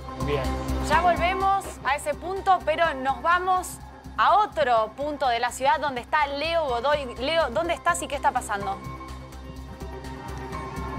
Bien, estamos aquí sobre Avenida Corrientes, casi Callao, y ya han avanzado toda la columna que pertenece al Polo Obrero Tendencia, eh, por lo menos en unas 200, 300 metros ya van avanzando hacia la zona de- del obelisco para luego continuar hacia la Plaza de Mayo. Así que esta columna aquí sobre la Avenida Corrientes está totalmente cortada a la altura de, de Callao y avanzando hacia el obelisco, pero eh, podemos decir que realmente es mucha la cantidad de, de gente que han movilizado, como contábamos hoy temprano. Desde anoche han ido llegando distintas columnas desde todo el país para marchar hoy hacia este lugar que han elegido como centro de, de reunión y donde se van a decir algún discurso, que es la Plaza de Mayo. Leo, se ve mucha gente, pero vos que estás ahí ves más de cerca y estás hace más tiempo, estás viendo familias jóvenes, ¿de, de qué edades estás viendo? En el móvil de Fabián Rubino eran predominantemente jóvenes quienes estaban marchando y protestando. Aquí, mira, en general son familias, por lo que veo son familias. Eh, la la edad promedio te diría que es, sí, entre los 20 y los 40. eh, eh, digamos que, ahí está conformada por lo menos la, mayoría de la gente que, que marcha. No hemos visto, como en otros casos, eh, mucha cantidad de, chicos. Si bien hay algunas familias que marchan con sus hijos, no en, gran cantidad como lo hemos visto en algunos acampes, por ejemplo. Aquí la mayoría son adultos los que van participando de esta marcha. Aclaramos que esta parte de la marcha corresponde a lo que es el Polo Obrero Tendencia. Bueno, quédate Leo, quédate, ya hay movimiento y se ve mucha gente. Recordemos que cerca de las 3 de la tarde va a ser el momento eh, puntual donde veremos seguramente la Plaza de Mayo cargada. No está claro, Javi, qué cantidad de gente. Eh, se habló de una cifra, 200.000 personas, 300.000. Bueno, en fin, hay que ver la policía qué cantidad de gente espera o calcula, ¿no? Sí, sí, exactamente. Y fundamentalmente no para la llegada, sino también para la, desconcentración. Ese, ese no es una preocupación, digo, por una cuestión de inseguridad, sino una cuestión de, bueno, que reorganizar a la ciudad obviamente lleva mucho tiempo también. Organizarla para un corte es mucho más sencillo, por decirlo de alguna manera. Reiteramos, Ciudad de Buenos Aires, por supuesto, la Policía de la Ciudad, con el Cuerpo de Tránsito, más otros este, funcionarios de, de la capital federal. La Policía Federal, Gendarmería, Prefectura en eh, la periferia, también dentro de la, de la capital federal, custodiando algunos edificios públicos. En los accesos también están también eh, Gendarmería, en los que suele estar habitualmente, como por ejemplo Panamericana, el Acceso Oeste y demás, en colaboración también con algunas dependencias de- del interior de la Policía Federal Argentina. Les cuento algo, durante todos estos días, dos, tres días, se estuvo monitoreando lo que estaba ocurriendo e iba a ocurrir con las marchas.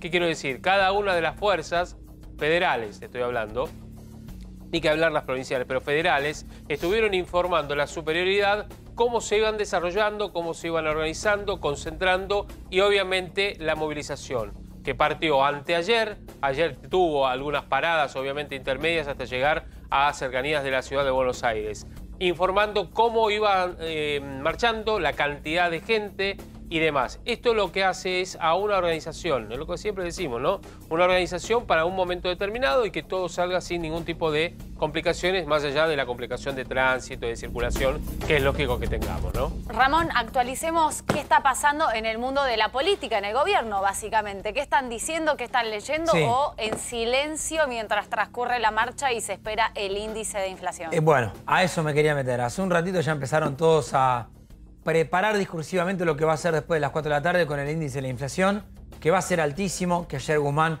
insistía con esto de va a ser menos malo que en marzo, pero el número va a ser tremendo, va a ser otra vez de impacto y eso va a repercutir otra vez en la opinión que tiene la, eh, la sociedad del presidente de la Nación, que está en Francia, que va a volver mañana de la gira, que él eligió, me parece que hay que insistir con esto, hablar de la interna con su vicepresidenta y ahora quiere cerrar este concepto, pero Y ya está, todo lo abrió. esto afuera, en el exterior, lo elige hacer. Y, y ¿no? sí, la verdad que. Y además. Es llamativo. Vos pensás esto. Cata. Ahora hay una interna marcada, donde ya se empieza a hablar de paso. Lo tuvo que hacer hoy el ministro de, de Seguridad, Aníbal Fernández. Vos imaginate lo lejos que tenemos de 2023, como para que encima ahora ya digan, bueno, vamos a ir a una interna. Vos imaginate lo que es una mesa de trabajo. Entre un ministro que responda a Alberto Fernández y una línea media que responda a Cristina. No, sí. ¿Cómo puede ser esa agenda de trabajo? Bueno, Hoy no, no es menor, tarifas. digamos, justamente un mensaje que, que tiene múltiples Seguro. lecturas del Imposible. presidente de la Corte Suprema, Rosati, diciendo que no se puede eh, tomar ninguna decisión de Estado si el Estado está tan desorganizado. Bueno, la una del mediodía, segundito, ya está Maxi Montenegro. Eh, hemos entregado toda la información en vivo. Va a ser una jornada muy, muy importante. No se puede mover de la pantalla No, no. 24. Lo siguen con Máximo quedan. y su equipo y toda la cobertura de A24, que es un día importante. Ya llega, en segundito nomás, Maxi Montenegro como cada mediodía. Mañana viernes nos reencontramos a las 10 con Equipo Noticias. Chau, chau. Hasta mañana.